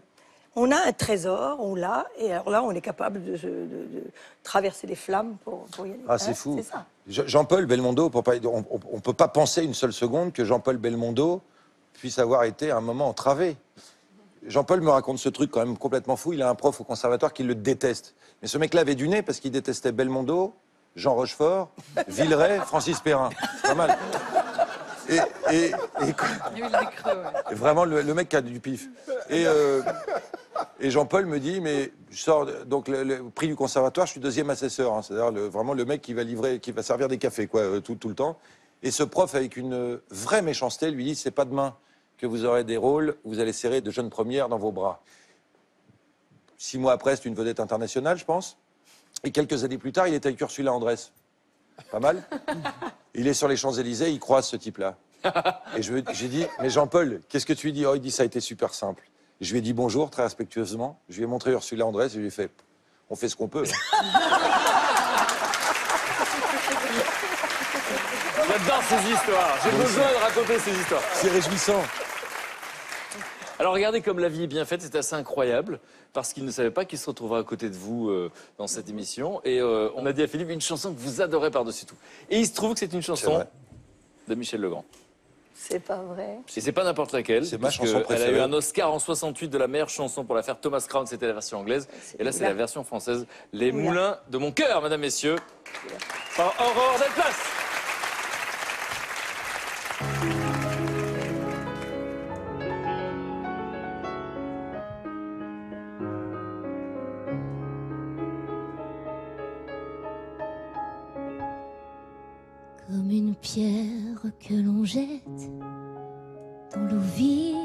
Ruisseau et qui laisse derrière elle des milliers de ronds dans l'eau, comme un manège de lune avec des chevaux d'étoiles, comme un anneau de Saturne, un ballon de carnaval comme le chemin de ronde que sans cesse les heures, le voyage autour du monde d'un tournesol dans sa fleur. Tu fais tourner de ton nom tous les moulins de mon cœur. Ce jour-là, près de la source, Dieu sait ce que tu m'as dit. Mais l'été finit sa course, l'oiseau tomba de son nid. Et voilà que sur le sable, nos pas s'effacent déjà. Et je suis seul à ma table qui résonne sous mes doigts comme un tambourin qui pleure sous les gouttes de la pluie comme les chansons qui meurent aussitôt qu'on les oublie. Les feuilles de l'automne des ciels moins bleus. Ton absence leur donne la couleur de tes cheveux. Comme une pierre que l'on jette dans l'eau vive d'un ruisseau et qui laisse derrière elle des milliers de ronds dans l'eau.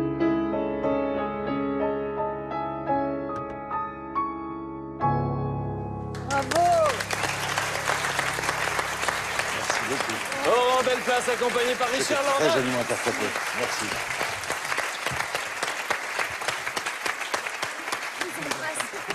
Merci, merci Laurent, merci beaucoup. On l'applaudit très fort. Piano voix avec Richard Lornac. Dites-nous ce que vous avez ressenti, parce que pour des raisons différentes, ça vous a touché. C'est une chanson qui traverse les âges, c'est ça qui est extraordinaire. Et quand Michel a donné les parapluies de Cherbourg au Châtelet, ce qui était extraordinaire, c'est qu'il y avait les cinq générations. La grand-mère, la mère, la fille et la petite fille de 5 ans qui connaissait tout par cœur. Il a, il a réussi ce, ce prodige d'être euh, vraiment transgénérationnel. Alors, Macha, je voudrais dire qu'on a chaque semaine un savant qui Oh, vient essayer de nous faire partager euh, sa passion. Quelle est sa spécialité? Alors, vous allez comprendre, c'est un chercheur qui étudie l'odorat. Oh, très important. C'est un, un sens archaïque qui était complètement atrophié. Figurez-vous que euh, on connaît tous plus ou moins le, le principe de la Madeleine de Proust. Vous allez comprendre pourquoi ça fonctionne comme ça. Euh, les odeurs sont liées aux souvenirs, mais ça va plus loin que ça. Le nez recèle des mystères que la science est en train de découvrir depuis quelques années. Et celui qui vient est directeur de recherche à l'INRA, l'Institut national de recherche agronomique. Merci d'accueillir Roland Salès.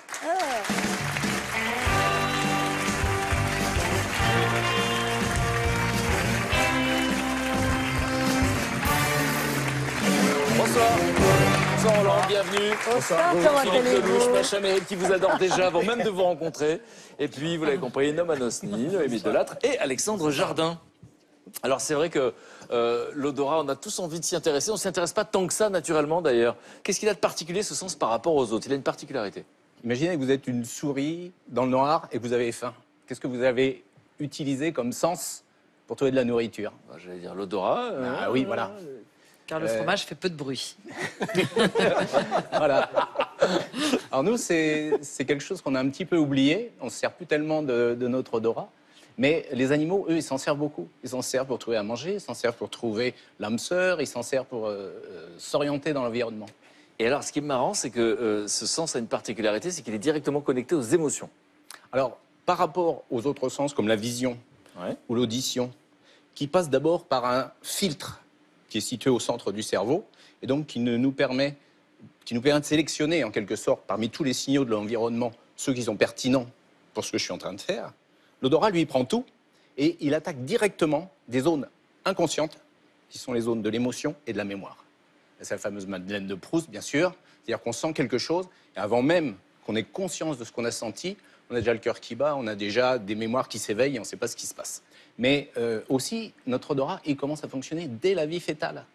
C'est-à-dire que dans le petit bébé, dans le ventre de sa mère, dès trois mois à peu près, il commence déjà à sentir les odeurs maternelles, les odeurs de son alimentation. Et, et il y a une expérience qui a été menée à Marseille. Alors là, ça va parler à tout le monde. Effectivement. Alors, on a demandé aux mères si elles mangeaient de, de l'aïoli. Donc, dans le ventre de leur maman, les bébés, ils ont senti l'ail. Et d'habitude, les bébés n'aiment pas tellement l'ail. Les bébés du Nord, par exemple, où on mange beaucoup moins d'ail que dans le Midi, ils n'aiment pas trop, ils aiment pas trop l'ail. Quand on leur présente de l'odeur d'ail, ils se détournent.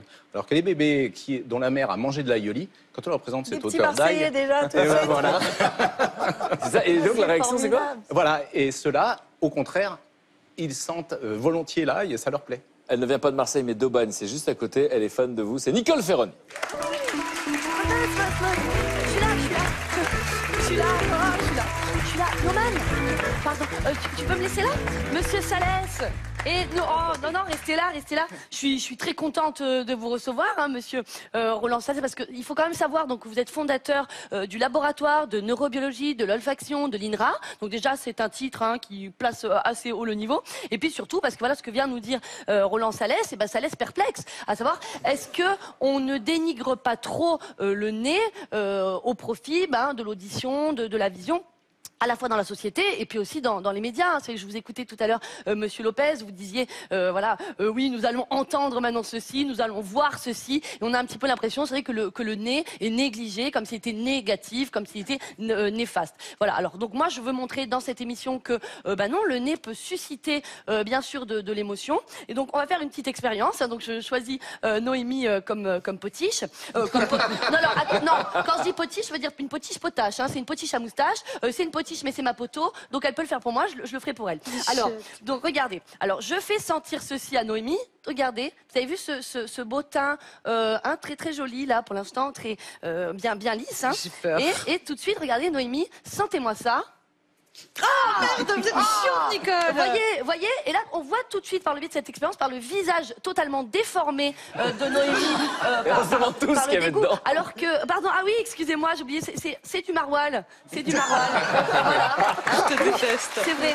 Alors que, Et il y en a qui savent. alors que dans l'autre, c'est une rose. Oh, en plus j'ai fait les caches exprès. Vous voulez sentir, euh, voilà, Alexandre, si vous voulez. Et, et donc on voit hein, que, que par le biais, voilà, de, de ce visage déformé, alors que d'habitude il était quand même plutôt joli, euh, que euh, euh, une odeur forte euh, peut au même titre que des images fortes générer finalement des émotions fortes. Donc bien sûr, reste à savoir comment. Et c'est vrai que quand on regarde par quel processus euh, l'odeur peut créer des émotions, on voit qu'au bout d'un moment donné, regarde, ça bloque, ça bloque, c'est-à-dire on a une impression vraiment qu'il y a une partie euh, de la science qui est inaccessible, d'accord? Eh ben non, il faut dans ce cas-là, heureusement j'ai un petit mouchoir, euh, bien se dire que non, il faut regarder la vérité en face et ne pas rester le nez bouché face à ces processus scientifiques émotionnels. Là, regardez, quelle est la première étape finalement de la genèse d'une émotion C'est d'abord le passage, bien sûr, par les narines. Et là, qu'est-ce qu'on voit dans ces narines? Eh ben des poils, hein, des poils, des narines, des narines très poilues. Et euh, finalement, on a un petit peu l'impression que ces narines sont un petit peu narines Le Pen. Euh, alors, pas dans le sens, pas dans le sens que c'est euh, que- qu'elle est poilue, hein,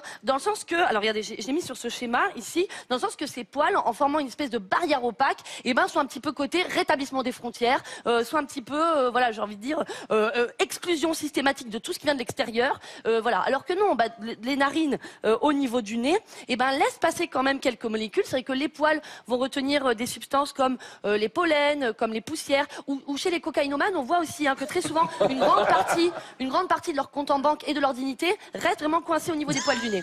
Et, et sauf qu'en fait, ces, ces molécules odorantes, voilà, vont rentrer dans la cavité nasale et vont se coller au niveau de ce qu'on appelle la muqueuse olfactive, hein, euh, du fait, voilà, en, en- en passant par les narines. Alors, Pardon, je dis en passant par les narines, mais elles peuvent aussi regarder venir de, euh, de derrière, là, par l'arrière du palais, euh, c'est-à-dire notamment en provenance, chose, voilà, en provenance des, des aliments euh, qu'on mange et c'est ce qui donne le goût. Sauf qu'on dit le goût, mais euh, à tort, parce qu'en fait, le goût, euh, c'est ce que justement euh, les sensations qu'on sent exclusivement lorsqu'on se bouche le nez. Le goût, c'est exclusivement le sucré, le salé, euh, la mer, l'acide. Hein, C'est-à-dire que euh, finalement, euh, comment dire, ce qui fait euh, qu'on arrive à distinguer euh, le fait qu'on mange euh, du cacao, du cacao, de la cacahuète, euh, c'est vraiment l'odeur euh, qui par, par la détection hein, des molécules au niveau de la, muqueuse olfactive. Et lorsque la molécule va se euh, finalement va, se coller au niveau de son récepteur, il va y avoir genèse euh, d'un message électrique hein, qui va passer de la muqueuse olfactive vers le bulbe olfactif et ensuite vers le cerveau. Et c'est là qu'est générée l'odeur. Tout le monde croit qu'on sent avec le nez, pas du tout. On sent avec le cerveau.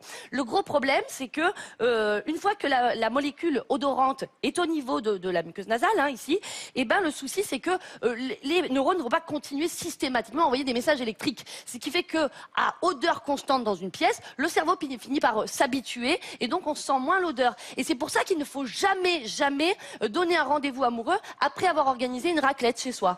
Parce que non, parce que vous, euh, après la raclette, vous ne savez pas que vous puez. Ou du moins, vous ne le savez plus. Et du coup, la personne que vous apprêtez à rencontrer, pour elle, ça va être un choc odorant très très fort. Et donc, elle vous dire, oui, mais alors, bah, en même temps, excusez-moi, mais si la personne me choisit juste à cause de mon odeur, c'est qu'elle est bête. Non, elle n'est bête. Pourquoi? Parce que justement, la zone euh, de l'odorat est en lien direct avec la mémoire, avec une zone qu'on appelle en vert ici l'hippocampe, là et en bleu l'amygdale. Alors attention, l'amygdale, pas l'amygale. Hein. Hippocampe, amygdale sont des animaux. Euh, hippocampe, amygdale, ce sont des zones du cerveau. Et euh, du coup, eh ben justement, en fait, cette personne, peut-être que si elle vous choisit en fonction de l'odorat, c'est au contraire peut-être pour vous retenir, pour ne pas vous laisser tomber dans, l'oubli. Alors oui, peut-être qu'elle vous fera pas une place dans son appartement, mais elle essaye de vous faire une place dans son cerveau. D'accord? Donc vraiment, concernant l'odorat, moi j'ai envie de dire, eh ben au contraire, essayez de, de revaloriser le nez, essayez bah, finalement la vie de la respirer et soyez né, soyez zen. Nicole Ferroni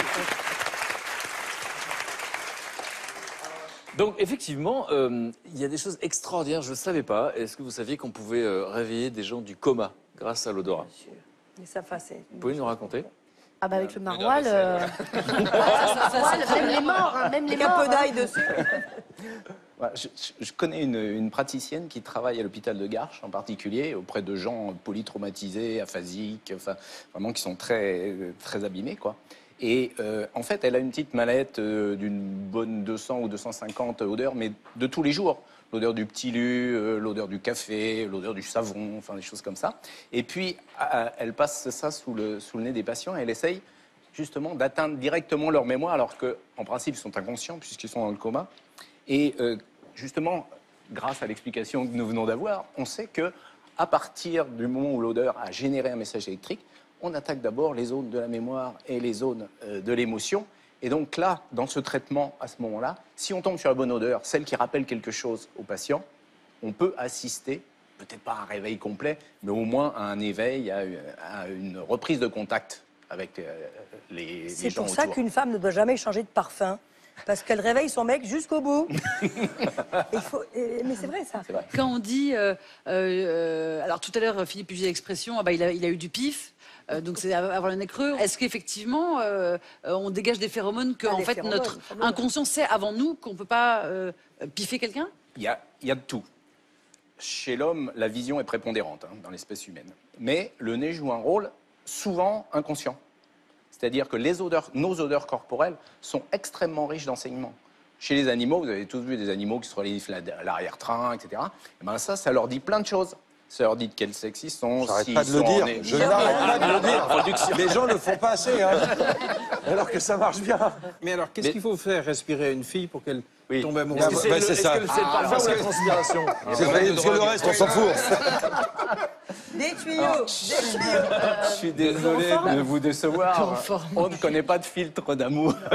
On peut vous vendre tout ce qu'on veut. La bave de vous avez vendu un livre qui s'appelle, qui est magnifique, qui s'appelle Faut-il sentir bon pour séduire oui. Vous pouvez répondre à Ah la oui, question voilà, de nos voilà, camarades. on va te le donner. Ce dont on s'aperçoit dans les couples constitués, disons euh, stables, c'est qu'en général, l'odeur du partenaire est préférée à toute autre odeur.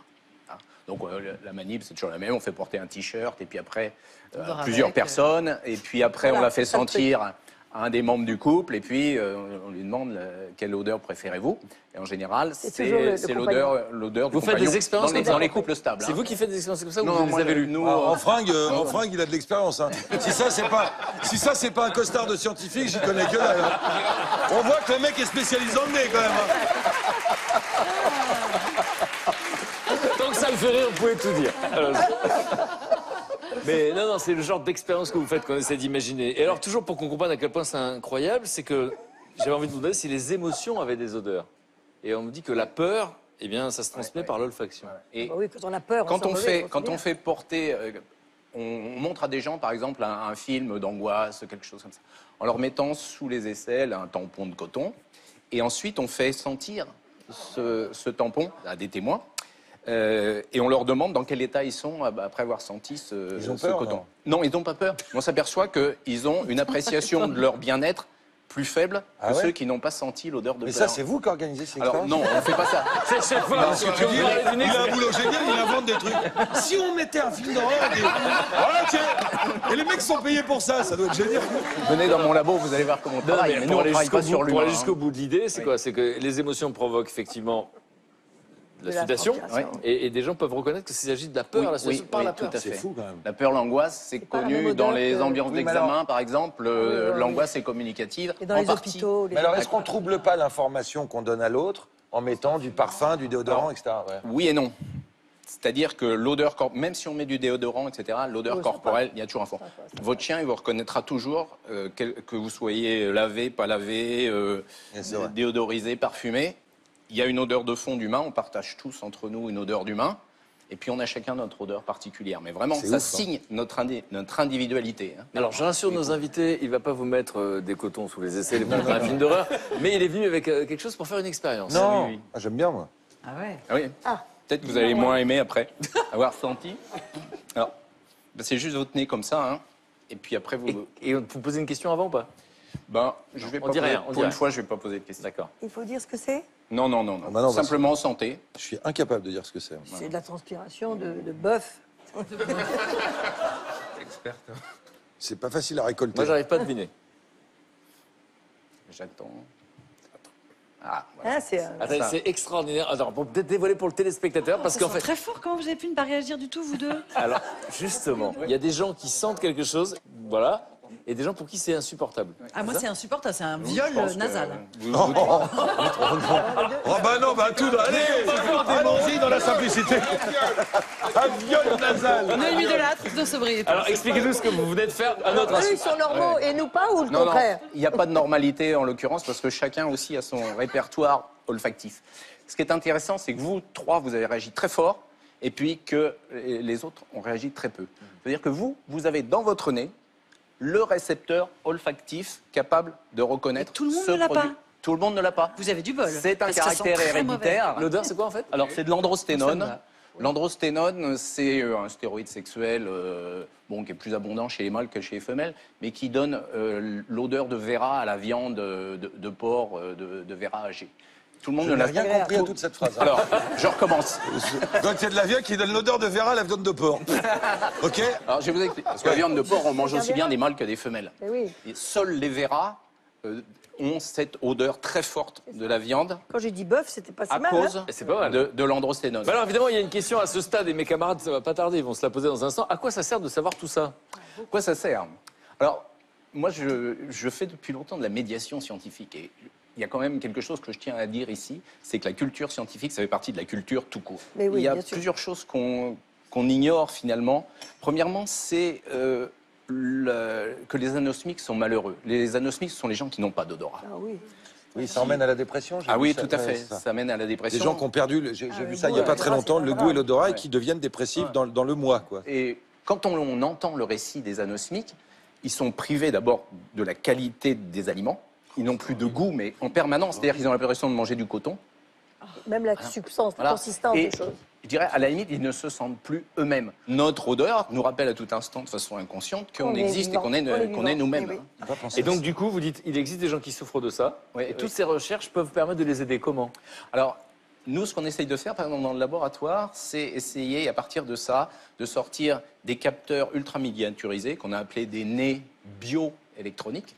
C'est-à-dire qu'on utilise les récepteurs qu'on a dans le nez, on les met sur des électrodes électroniques, et tout ça, c'est ultra miniaturisé, complètement euh, à l'échelle micrométrique. Donc des nez artificiels Des nez- bioélectroniques. Voilà, des nez artificiels. À l'heure actuelle, il existe des nez artificiels, des nez électroniques qui sont des grosses machines. Mais là, nous, ce qu'on veut faire, c'est vraiment Oui, j'ai jamais croisé personne avec ça. Oui, je suis ton père. Voilà. Non, non. Et notamment pour faire le diagnostic médical. C'est-à-dire? Eh bien, toutes les maladies ont une odeur. Et par Ah bon exemple, ça a été démontré pour les, pour les cancers, les maladies infectieuses, même les maladies psychiatriques ont, ont une odeur. Donc ça change l'odeur corporelle et on peut le mesurer. On peut On reconnaître. peut, le- on, peut le- on peut reconnaître. Donc l'idée, ça serait à partir de ce diagnostic qui est complètement non invasif. On sent la laine, on sent les urines, euh, il n'y a pas de prise de sang, il n'y a, il y a pas de biopsie.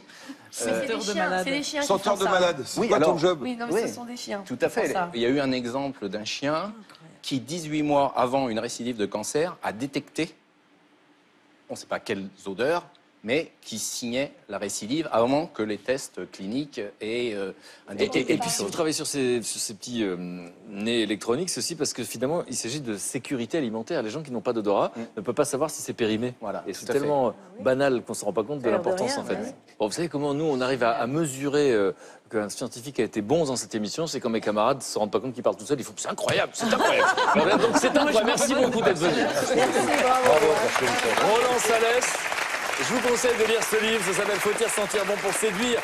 120 clés pour comprendre les odeurs. Et alors, on s'intéressait pas au sujet avant que vous veniez. Maintenant, on trouve que c'est le sujet le plus passionnant du monde. Vous avez réussi. Merci beaucoup. Bravo, bravo. Restez avec nous. Merci à vous pour cet enthousiasme communicatif. Et puis, on, on va reprendre le récit de la vie euh, de Macha, parce que des obstacles, il y en a eu pas mal, mesdames, messieurs. Les obstacles de sa vie.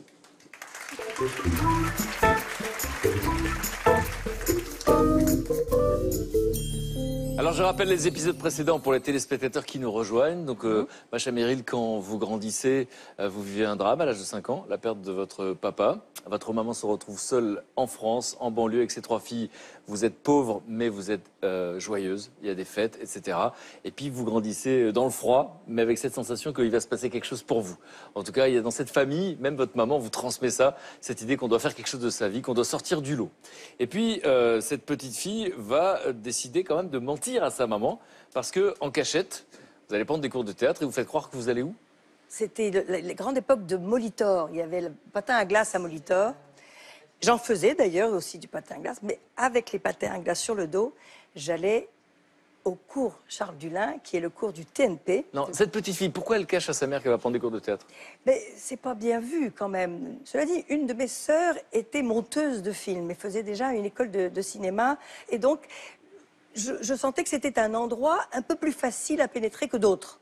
Et très vite, euh, mais, mais, effectivement. mais vous êtes mise à l'âge de 16 ans quand même, donc euh, je pense à tous les gens qui ont des filles de 16 ans, euh, à beaucoup sortir. Ben Je ne sais pas si c'est en cachette de votre mère à ce Toujours moment-là. en cachette. Toujours en cachette. C'était les boîtes de Saint-Germain-des-Prés. Et j'ai, pendant ces années-là, rencontré tout le monde. C'est une merveille parce que ça m'a constituée.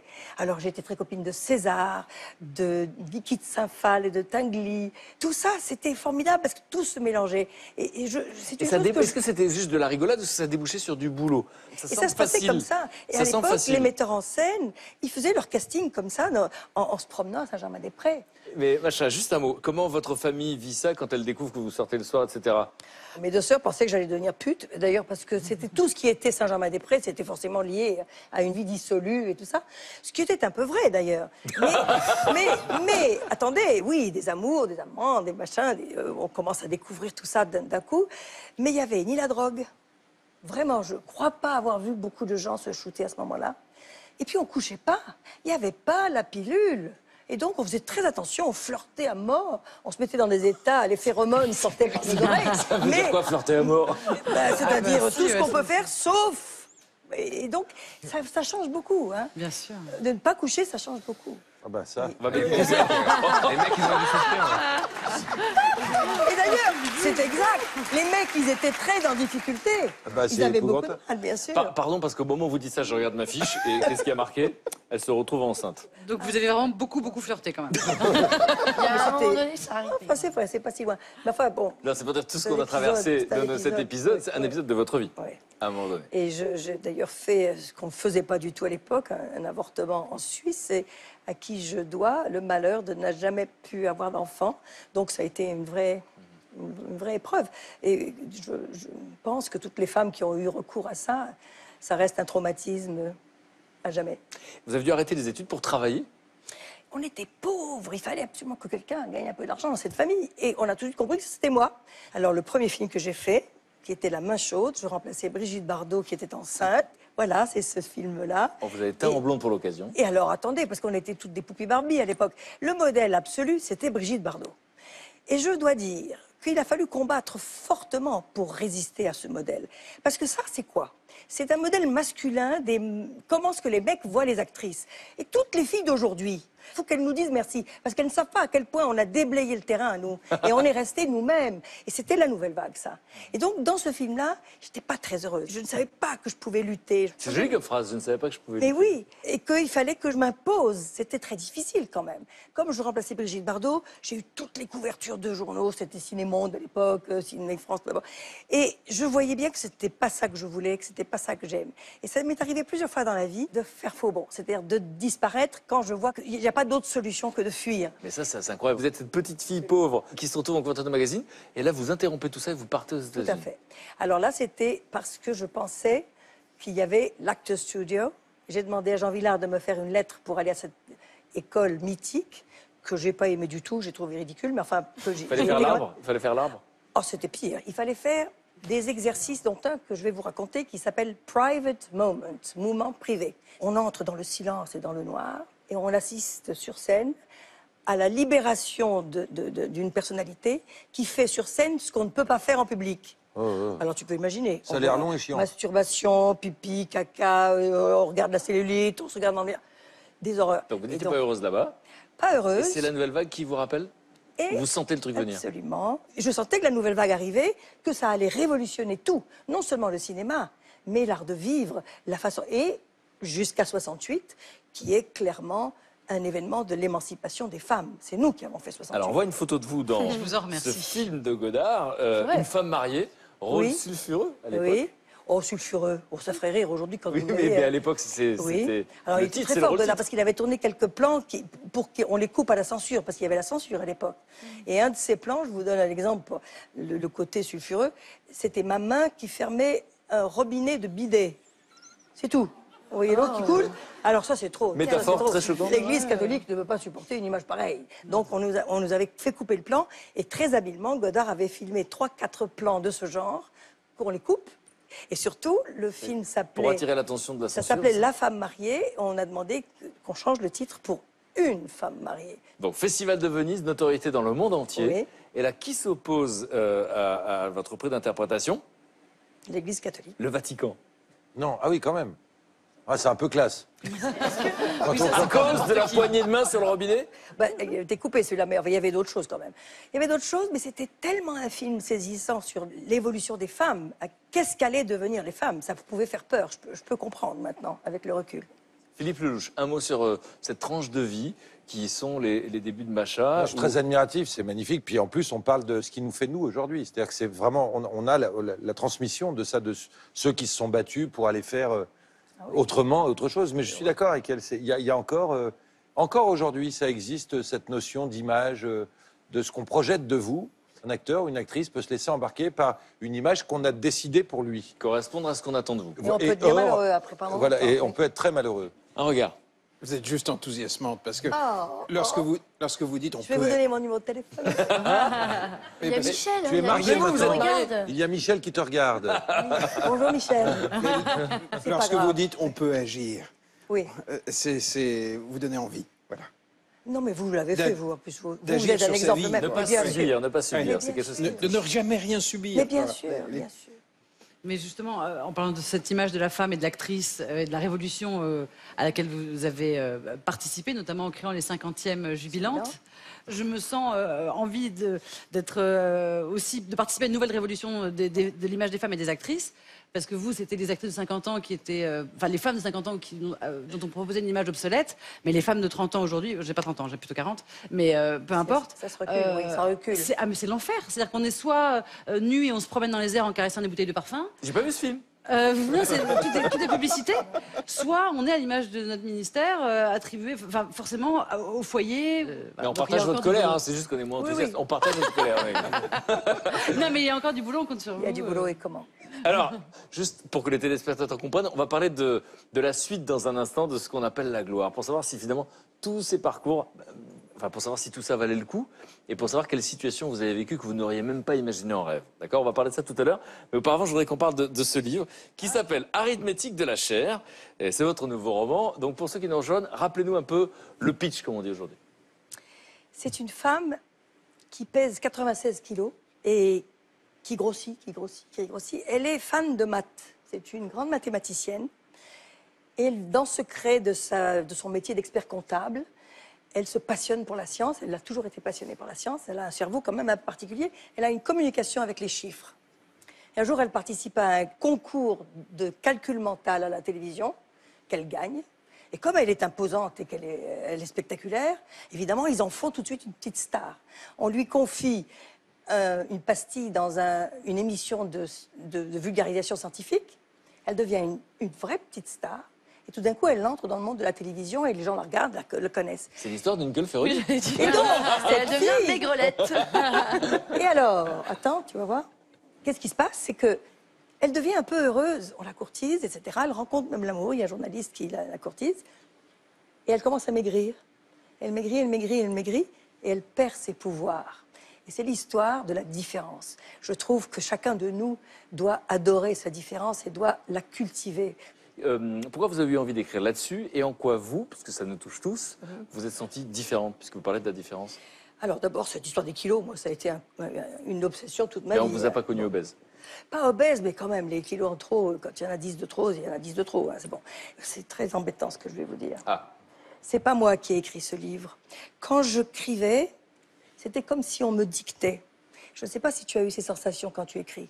Si. C'est très, très étrange. Comme si j'étais un filtre et que c'est par moi qu'elle est passée, ces idées, qu'il fallait qu'elles soient goupillées de telle manière qu'elles soient séduisantes et qu'elles puissent passer. Je suis un messager, voilà.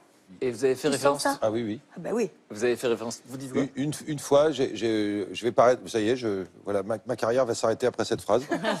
Mais euh, une fois, quand j'ai écrit une pièce qui s'appelle Boire, fumer, conduire vite, qui était l'histoire de, euh, de, de trois types qui pensent être en garde à vue le soir du jour de l'an et qui en fait se rendent compte que la femme qui est censée être leur avocate est finalement un ange. Et qu'elle leur dit, vous n'êtes pas en prison comme vous pensez être, mais vous êtes entre la vie et la mort. Voilà, c'était ça l'idée de cette pièce. Et elle leur explique pourquoi ils sont tous les trois dans le coma et qu'elle est là pour les aider à franchir un pas ou retour à la vie ou vers l'au-delà. Et les types, évidemment, s'insurgent, ont peur, mais s'insurgent. Et elle dit, toi, tu l'as voulu, toi, c'est à cause de ça, et toi, c'est un accident. Et je me souviens d'être en train d'écrire, parce que je dialogue en temps réel, et euh, mon personnage euh, dit euh, à l'ange gardien, vous dites que c'est un accident Mais Elle est belle, la condition humaine, parce que je suppose que lui, là-haut, il n'en a pas d'accident. Et la réponse que me fait cet ange dans la pièce, mes mains l'ont tapé, et, donc je vous rappelle la question, je suppose que lui, là-haut, n'a pas d'accident, et je tape si les vôtres. Voilà. Et cette phrase-là n'est pas de moi. Voilà. Mais c'est moi qui l'ai écrite. Je ne peux pas vous dire autre chose. voilà, c'est ça, c'est ça. Mais Alors, non, je Oui, mais je, peur, sais que ça fait un peu peur de Oui. dire ça, mais Mais nous sommes des transmis- transmetteurs. Et à travers ce livre, Voilà. qu'est-ce que vous essayez de nous transmettre? Que la vie ne finit pas avec la mort, que la différence c'est une bénédiction, et surtout que les maths, la science, c'est formidable. C'est des fous furieux, hein, les mathématiciens. hein. Elle écrit comme elle parle, mesdames, messieurs. Macha Merrill, arithmétique de la chair chez Flammarion. Merci beaucoup de nous en parler. Qu'est-ce que vous avez à dire donc, sur cette, ce côté médium J'écris malgré moi Qu'est-ce que... non, je pense que c'est c'est probablement la plus belle définition, c'est l'inspiration. Qu'est-ce que c'est? On va pas rentrer dans un truc trop mystique. C'est on est inspiré. Et je prenais l'exemple là de, de James Brown qui disait quand euh, un moment sur scène, je me rends bien compte que mes pieds bougent tout seuls. Voilà, ça paraît fou, mais il y a un moment où on est emporté par un truc. Et je pense que tous les artistes, à un moment, quand on est très concentré, ce qui en mon- dans mon cas n'est pas souvent le cas. Mais euh, voilà, tout d'un coup, on, on est, euh, il y a un truc qui, Ça qui fait que voilà, ça ça s'impose. ouais. Pour les spectateurs qui nous rejoignent, je précise, on ne parle pas de drogue. Là, on parle de... On parle de l'inspiration. C'est une forme de drogue. hein. Alors, James Brown disait que ses pieds bougeaient tout seuls. Là, vos pieds vont bouger, mais avec ceux de Noémie. Si vous voulez bien venir avec moi. Bah oui. On va mieux vous connaître, Philippe Lelouch. Est-ce que vous voulez bien vous mettre comme ça? Comme ça? Ouais, parfait. Crac, voilà. Vous savez danser, n'est-ce pas? Ah bah, J'ai vu euh, tout à l'heure. Très légèrement. Bah, c'est comme les créneaux, il suffit d'avoir une bonne latéralisation et une prise en main efficace. Bon, le slow, c'est pas trop emmerdant. Ça va? Ouais. Ça, je suis facile à garer? Mais vous êtes euh, parfaitement transportable. Bonne manœuvre, tout va bien. Tout va très bien. Vous présentez euh, l'émission Top Gear France. Ouais. Donc c'est une émission euh, destinée aux adeptes des, des grosses carrosseries, du tuning et des voitures turbo. Est-ce que Oui. ça correspond à vos goûts en matière de femmes?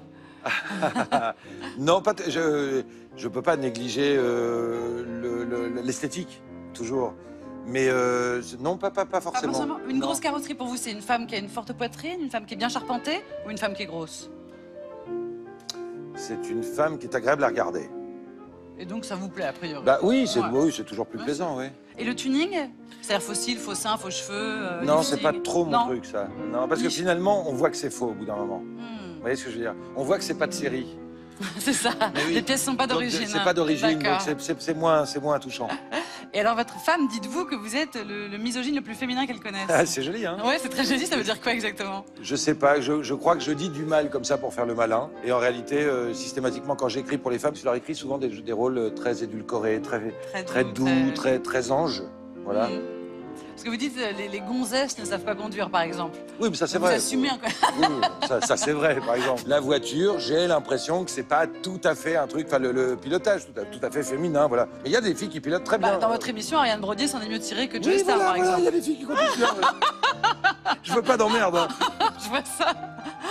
Mais pourtant, vous revendiquez quand même un certain côté macho, vous revendiquez de rien faire à la maison. Oui. C'est oui, vrai, ça, vous oui. faites rien Je suis pas, je suis pas un gros participatif aux tâches ménagères, faut reconnaître. Mais quelle tâche ménagère vous savez faire Attention, se brosser les dents n'est pas une tâche ménagère. Non, non, non, non, mais je parle des- du truc d'entretien de la maison. Ouais.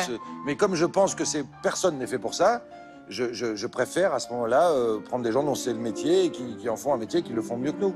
Voilà. D'accord, donc chez vous, c'est euh, un homme ou une femme de ménage qui Voilà, le fait. absolument. D'accord. Oui, ça, c'est Enfin, pas. Pas que je, que je fasse attention à ce que je dis aussi. Ma femme participe beaucoup, plus que moi. Mais, non, mais c'est important, vous avez raison de le dire. Oui, voilà. Et vous vous êtes jamais dit que vous pouviez euh, piloter un aspirateur, euh, gérer la vitesse et les tours minutes d'un lave-linge, faire tâches- du drift avec un fer à passer? Les tâches ménagères ne m'intéressent pas. Je ne sais pas Je comment sais pas vous comment le vous dire. dire avec des mots simples, mais je m'en fous, je m'en fous, je m'en fous, je Ça fous. m'intéresse pas. Non, mais attendez, je, je voudrais vous dire un truc quand même. Ça va être Parce grave parce que- que vous vous arrêtez de danser, Ouais. donc je sens que ça va être chelou. Richard, tu veux bien me laisser parler? Le pauvre. Bah Non, justement, c'était un bonheur quand on dansait, merci beaucoup. Merci. Vous venez de me prouver que vous êtes capable de faire plusieurs choses en même temps. Vous m'avez fait danser, vous m'avez fait rire, vous avez répondu à mes questions. Donc, je crois en vous. Je pense que vous pouvez être un homme 3.0, un homme viril qui participe au quotidien du Qu'est-ce foyer. que c'est bien fait. Vous êtes adorable. Le présenter comme ça, c'est magnifique. Merci beaucoup. C'est moi qui vous remercie. Merci, Richard. Et Et Richard Larnac au piano. C'est une discussion qui me passionne. Ça va, t'as ton passeport. vous ça, assumez ça vos me petits- passionne parce que, en réalité, on a un vrai problème avec l'homme 3.0. C'est-à-dire que je n'ai jamais, dans cette génération, je retrouve des femmes folles amoureuses de Lino Ventura et qui, et qui tout d'un coup voudraient que Lino Ventura fasse la vaisselle. Voilà. Et Et c'est vous ça. êtes convaincu qu'il aime Non, ça la problématique de la femme, c'est ça. C'est qu'il y a un côté où on veut absolument un type extrêmement viril, c'est-à-dire qui remplisse toutes les conditions d'un homme, d'un père, qui soit un mec qui rapporte de l'argent, qui, sache voir de loin, qui sache être viril, qui sache prendre sa femme de temps en temps, même si elle n'en a pas envie, avec douceur, etc., etc., etc. Et en même temps, que le mec fasse la vaisselle, qu'il fasse du vélo avec le gosse en bandoulière, etc. C'est compliqué. C'est quoi la bonne formule? L'un va pas avec l'autre. elle a écrit un livre entier là-dessus. C'est Euh, vrai, C'est vrai. Hein, c'est ça. C'est Mais c'est- je, je reconnais que c'est très compliqué. c'est très compliqué. Mais parce que heureusement, ça évolue. Euh, Non, pour c'est nous, très de- compliqué parce que nous, on nous demande aussi euh, d'être des, mères de famille parfaites, mais en même temps euh, d'être hyper séduisantes, euh, encore euh, à je sais pas quel âge, chef d'entreprise, chef d'entreprise, de- d'avoir de de faire la comptabilité, de- etc. C'est très compliqué. C'est d'autant plus compliqué que pour les types de ma génération, ce qui était assez drôle, c'est qu'on a été élevé avec un modèle de père qui était absolument pas dans ces codes-là. Moi, mon père ne sait même pas ce que c'est que de se lever de table ou se servir un café.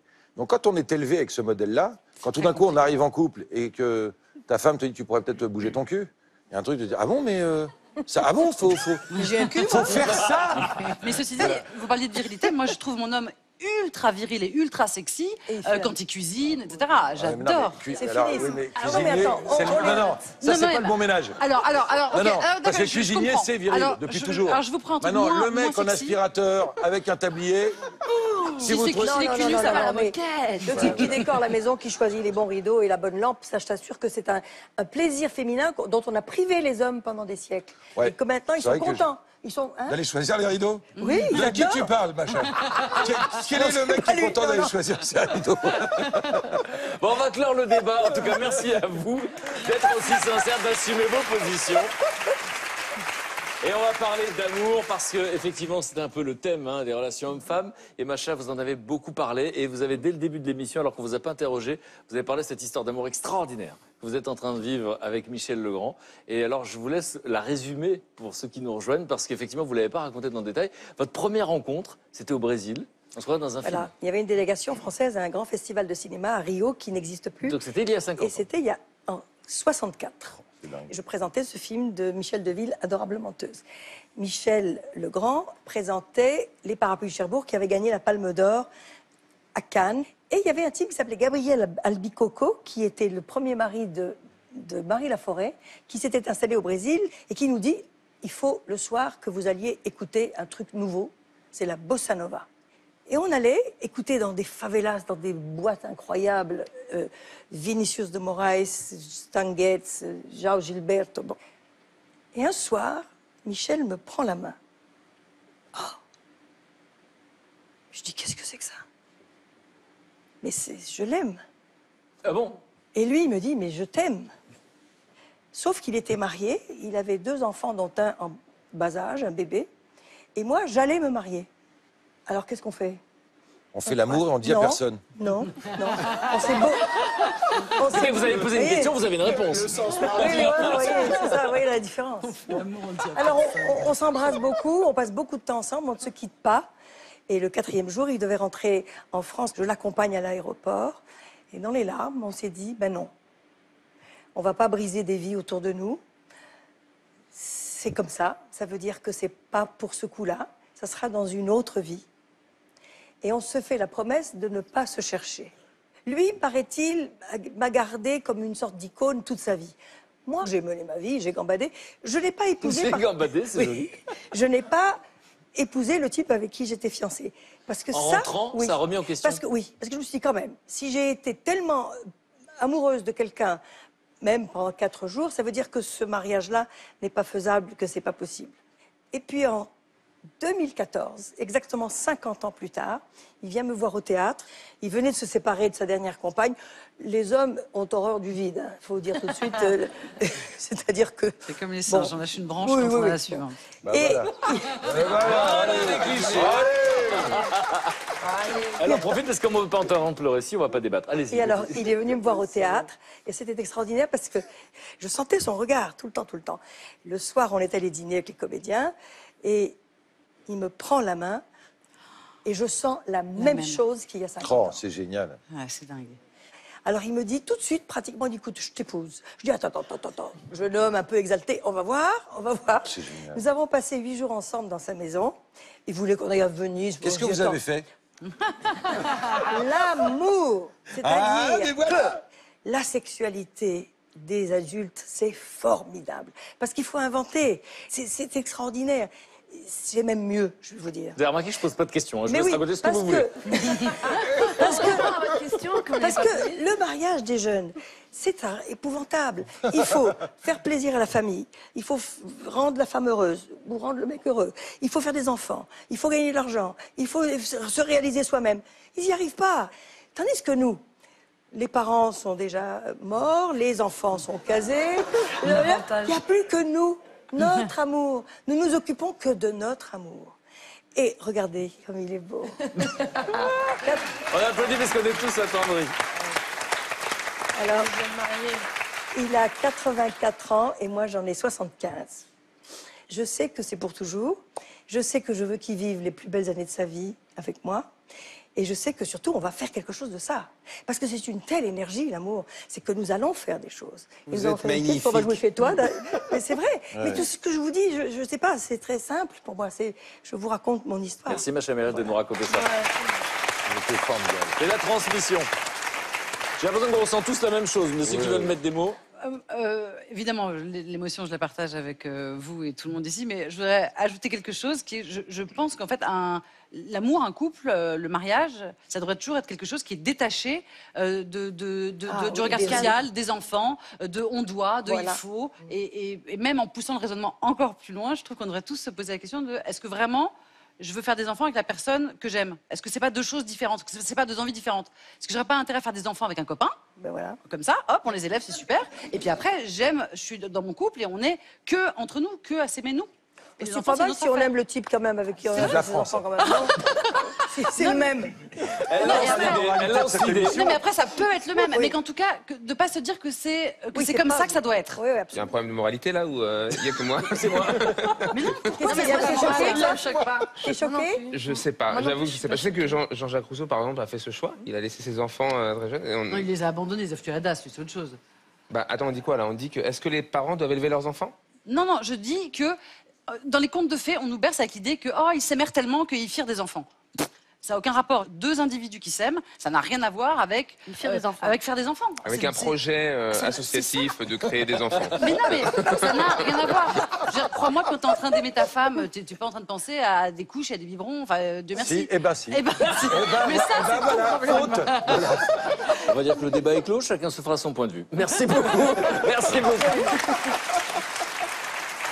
Alors, je vous propose de parler de la gloire. Ah oui, c'est l'autre. c'est- Heureusement, il y a un deuxième volet.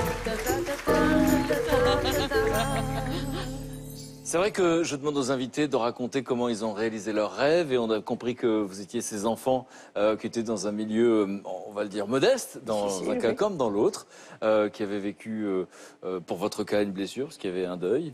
Euh, un papa qui, est, euh, voilà, qui avait disparu, vous aviez 5 ans. Et donc, cette petite fille, dans cette famille pauvre mais joyeuse, a rêvé de lumière. Et vous, vous avez parlé d'un besoin de reconnaissance euh, assez tôt, à l'adolescence, pour plaire aux filles, c'est ça au départ. hein. Et puis, vous avez raconté les obstacles. Et puis, alors, ce qu'on appelle la gloire, c'est assez abstrait pour tout le monde. Ce sont des sensations fortes ou pas fortes, vous allez nous le dire. Et j'ai une image pour vous, vous allez nous dire si c'est un moment très chouette, on se dit, waouh, ça valait le coup de vivre tout ça, rien que pour ce petit moment-là. C'est un moment où vous êtes dans la rue et vous croisez Gérard Lanvin. Qu'est-ce qu'il vous dit, Gérard Lanvin? Oui, j'ai- adulte, hein, vous avez traversé Oui, oui, j'ai- rendez-vous euh, à l'époque avec Luc Besson et je, et je suis devant ses bureaux de production et devant, euh, je vois Gérard Lanvin qui discute avec euh, d'autres personnes. Et je dis, oh génial, Lanvin, dans ma tête, hein, pas tout seul dans la rue. et je me dis, oh génial, Gérard Lanvin. Et là, je vois qu'il fait, il, il se pousse légèrement et il fait un signe. Donc je me dis, à qui dit bonjour? Et, voilà. et- et en fait, c'était c'était à moi, mais je peux pas m'en rendre compte parce que je peux pas penser que donc je m'approche et comme il sent que j'ai pas compris que c'est à moi qui parlait, il s'approche, il me fait euh, salut euh, collègue. Et je dis bonjour et je, je- je reste un peu crétin euh, et il me dit j'aime bien ce que tu fais, j'aimerais bien un jour qu'on bosse ensemble. Et je, je ne sais même merci. Et en fait comme j'ai peur de le déranger parce qu'il parle avec deux personnes, je me barre euh, comme un voleur. Lui dire oh merci super, ça me fait hyper plaisir, je suis hyper fier. J'ai pu le, lui dire après, mais sur l'instant je me dis et je pense qu'il me confond avec mon frère en plus. Donc j'appelle Gilles et je lui dis je pense que l'envin m'a pris pour toi. Et il me dit bah non j'ai fait deux films avec lui, je crois qu'il me connaît bien. Et, euh, alors donc c'était vraiment à moi qui parlait quoi. Voilà. Et, qu'est-ce que, je- ça, qu'est-ce que ça raconte pour vous? C'est une histoire de légitimité?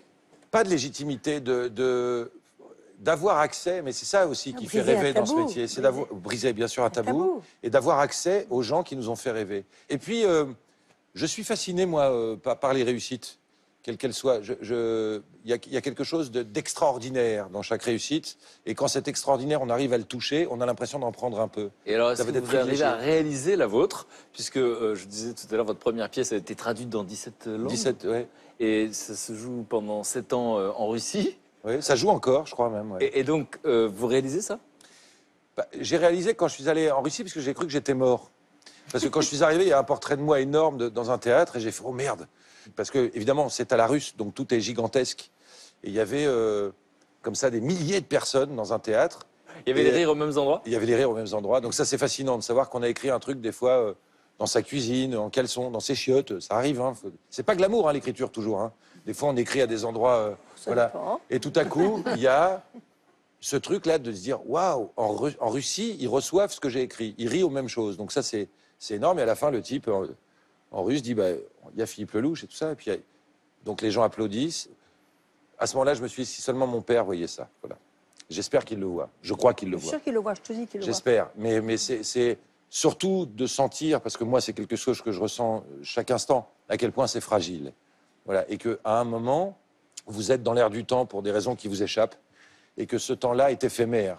J'ai conscience que si ça s'arrête demain, au moins, je l'aurais connu un tout petit peu. Une des satisfactions, c'est que ces, ces pièces de théâtre ont été des grands succès, avec sur scène une distribution qui était celle de départ. Ah oui, toujours, vos, ouais. apports, Ouais. vos amis. Ça a été la, rais- la raison de ma fâcherie avec Luc Besson, d'ailleurs, qui voulait mettre dans le film d'autres acteurs que ceux qui avaient fait la pièce.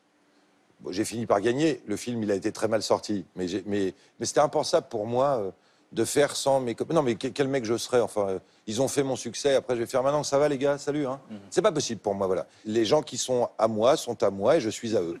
Alors, votre frère, c'est votre frère. Ouais. Il est comédien aussi. Ouais. Et donc, euh, on dit souvent que des couples de comédiens, c'est compliqué. Des, des frères comédiens, c'est comment? Comment vous, vous dire Je suis immensément fier de mon frère. Ça m'émeut toujours, voilà. C'est c'est mon petit frère. Et, euh, Il a 6 ans de moins? Il a six ans de moins. C'est euh, mon frère, mon meilleur ami, euh, mon confident.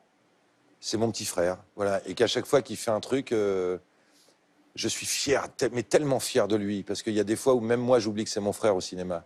Et que voilà, c'est. euh, et je trouve que c'est un acteur euh, fabuleux. Voilà. Mais ça m'émeut beaucoup. Très beau. On le salue. Gilles Lelouch. Vous avez, jamais eu envie de travailler ensemble? Ça s'est fait un tout petit peu, mais c'était un moment. euh, quand j'ai perdu mon papa, quand on a perdu notre papa, j'ai écrit un film. euh, comme j'étais ni Dieu ni médecin et que j'avais envie de prolonger sa vie, au moment où j'ai appris qu'il avait attrapé cette saloperie, je lui ai dit écoute, papa, euh, parce que lui avait envie qu'on joue tous les deux, je lui ai dit je vais écrire un film qui raconte ton histoire, donc il faut absolument que tu tiennes parce qu'il faut que tu vois ce film. Et c'est Gilles qui devait jouer le rôle que finalement j'ai interprété, le rôle de mon père. Et euh, mon père a disparu malheureusement avant euh, le tournage de ce film. Et quand j'ai dit à Gilles, euh, tu vas le faire, il, a- il m'a dit, je, peux- je peux pas. Voilà, je peux pas jouer papa, j'y j'y arrive pas. Je suis pas prêt. Je... Donc il a fait la voix off. Je sais qu'il peut avoir comme ça, Gilles, une image de. Parce Et qu'il un joue des physique, bandits et un oui. physique de. C'est quelqu'un d'infiniment sensible. Voilà. Voilà, on Pardon. parle de Gilles Lelouch, son Ouais. frère, vous l'avez compris. Et puis, parmi les choses extraordinaires qui peuvent arriver dans une vie, ça vous n'auriez même pas rêvé. Vous êtes directeur d'un théâtre, pas n'importe lequel, le théâtre de la Madeleine, qui Oui. est très prestigieux à Paris, dans lequel Sacha Guitry a créé combien de pièces? 35 pièces. C'est euh, c'est un petit euh, miracle, ça. Un jour, euh, les gens qui ont acheté ce théâtre, Michel Ambroso et, et, Dominique Bergin, m'appellent en me disant on aimerait beaucoup acheter ce théâtre, mais on n'a pas la personne pour le diriger. Et comme on aime bien ce que tu fais au théâtre, et puis que depuis 10 ans, tu fais venir les gens au théâtre, on se dit que ce serait une bonne idée si tu le dirigeais, donc on l'achète si tu le diriges. Ce qui était quand même un cadeau merveilleux. Et j'ai dit, bah, évidemment que je veux faire ça. Je ne sais pas si je vais en être capable, mais en tout cas, euh, le défi me passionne. Et voilà, et tout d'un coup, je me retrouve dans un théâtre euh, habité de tellement d'énergie et de. Je me fais pas cette idée que tous les soirs, je mets mes pieds là où Sacha Guitry a mis les siens, lui et tant d'autres. Et je me dis, alors voilà, encore une fois, je suis locataire d'un petit morceau de l'existence de ce théâtre. Et ça me remplit de bonheur. Voilà. Merci beaucoup. Merci beaucoup. Alors, je- je- il y a beaucoup, beaucoup d'images dans votre vie professionnelle et euh, donc c'est compliqué de les choisir. Alors, moi, je voulais juste parler de ce film, on en parle un tout petit peu tout à l'heure. Vous êtes euh, donc sur une grande chaîne de télévision qui n'est pas France 2. 7 millions de téléspectateurs vous voient nu à l'écran. Euh, à ce moment-là, vous avez donné votre âge tout à l'heure. À ce moment-là, vous donnez votre âge, donc vous avez 72 ans et vous dites à ce moment-là de ma vie, c'est un manifeste. C'est-à-dire que toutes les actrices avaient refusé ce rôle. Ça se passe dans le monde des nudistes, donc euh, comme son nom l'indique, il fallait être nu. Et moi, j'ai joué avec beaucoup de simplicité parce que je pense que la beauté n'est pas exclusivement dans la jeunesse. Et qu'il y a d'autres beautés et que cette beauté-là est une beauté qu'on gagne. Parce que quand on est beau, joli, euh, bon, on a hérité ça des gènes de ses parents et des siens. Mais quand on est beau, ou quand on croit qu'on est beau, à mon âge, c'est qu'on on se l'est bâti soi-même. C'est-à-dire, c'est fait avec de la conviction, avec du bien manger, bien, bien, bien baiser, bien, bien, bien participer à l'existence, s'occuper des autres, euh, ne pas être insensible à la politique. Tout ça fait qu'on devient une personne qui a, ça se voit sur le corps, ça se voit sur le visage, ça- voilà. Et donc j'ai eu aucun problème, moi, aucun complexe. Euh, Ce qui est assez amusant, c'est qu'en plus, euh, il fallait, entre chaque scène, les comédiens normalement devaient se rhabiller. Ah ouais, non, moi dit, je restais comme oh, ça, bah mais attends, euh, moteur, euh, coupé, coupé, Ah tu oui, remets le truc, c'est ridicule. Voilà. Et, et donc, euh, et les techniciens ont voulu faire pareil, mais ils n'ont pas eu le droit. Alors à un moment donné, j'ai dit, alors tout le monde, et, et- on- on ils étaient disposés à le faire, vu ma, ma, ma simplicité. Et c'est le producteur qui s'y est opposé, parce qu'il a dit ça leur donne pas de prestige d'être derrière une caméra avec le, euh, le truc. Oui. qui- bon, tu vois. Bon. De toute façon, c'est ouais. C'est difficile d'être digne Puis un homme à poil, c'est très beau. Hein, c'est quand même un scandale. Si les techniciens ont envie de se mettre nus, alors que les acteurs peuvent se mettre nus, Mais euh, pourquoi ils se mettraient pas Bon, nus Il bah, faudrait une c'était- convention collective. Si, si vous voulez vous mettre à poil, les gars, Mais franchement. cas, rencontre assez incroyable de votre vie. Vous avez rencontré un écrivain mort qui s'appelle Colette, que vous avez interprété. Vous avez joué dans son appartement. Absolument. Racontez-nous ce qui s'est passé, parce Il que y c'est après ça que vous êtes mise à écrire. images fondatrices. Euh, et en tout cas, des moments de la vie comme ça, fondateurs. Et je faisais Colette de 28 ans à 73 ans. Donc j'avais un maquillage qui se mettait en 8 heures. Deux maquilleuses, une qui me posait une membrane fabriquée pour mon visage avec les rides de Colette, et une autre, voilà, voyez, et une autre qui maquillait, c'est-à-dire qui faisait les couleurs, parce que la membrane, elle était blanche. J'arrivais à 4 heures du matin pour être prête à tourner à midi. Et à 4 heures du matin, le jour se levait, et dans la fenêtre où Colette regardait le ciel quand elle était très malade à la fin de sa vie sur son radeau et qu'elle voyait le fanal bleu, elle a écrit l'étoile Vespère, le fanal bleu, les plus belles œuvres de Colette. J'étais à cette même fenêtre. Et à un moment donné, j'ai senti quelqu'un qui me mettait la main, je vous jure que c'est vrai, hein, qui me mettait la main sur l'épaule et qui me disait Vas-y. Et j'ai compris qu'il fallait que j'écrive, que ce métier de comédienne m'était un peu à l'étroit et qu'il fallait que j'aille au-delà et que je dise je, c'est-à-dire c'est ça, écrire. Écrire, c'est ça. J'ai commencé à écrire et j'ai eu la surprise de voir que j'étais pas si mauvaise. Et de, de livre en livre, alors il a fallu que je combatte le cliché de l'actrice qui écrit, donc c'est pas elle qui écrit, et puis que maintenant que j'ai mes palmes d'écrivain, c'est depuis pas très longtemps, j'en suis à mon 19e livre, mais ce n'est que maintenant que je crois qu'on me considère comme un écrivain.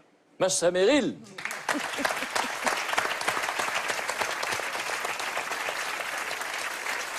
Alors Macha, on a eu envie de vous faire plaisir. Et je ne sais pas si ça va vous rappeler ces années euh, qu'on aurait tellement aimé vivre avec vous à Saint-Germain-des-Prés, le jazz, euh, euh, Ray Charles, Ella Fitzgerald. Et alors cette fois, c'est une chanson de Nina Simone qui va être interprétée par les Gospel Voices de Maxita et Gigi McFarlane. My baby just care for me.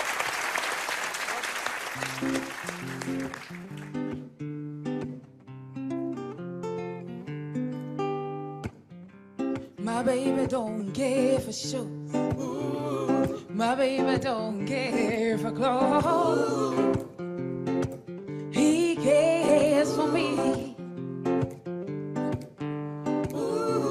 He don't care for cars and races. He don't care for high tone places. Liz Taylor is not his style. And even when I turn to smile. It's something he can see. My baby don't care.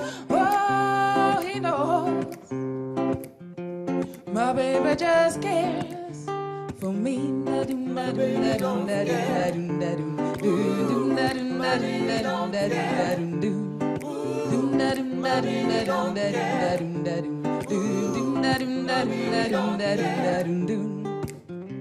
My baby don't care for shows. My baby don't care for clothes. No, he cares for me. He don't care for cars and races. He don't care for high tone places. This Taylor is not his style. And even Lana Turner smile. It's something he can't see. My baby don't care.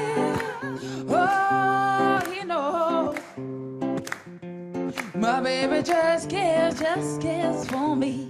My baby don't care. Just cares for me. My baby don't My baby just cares. My baby don't My baby just cares for me. My baby don't My baby just care. Just cares for me. My baby just cares. Oh, my baby just cares for me.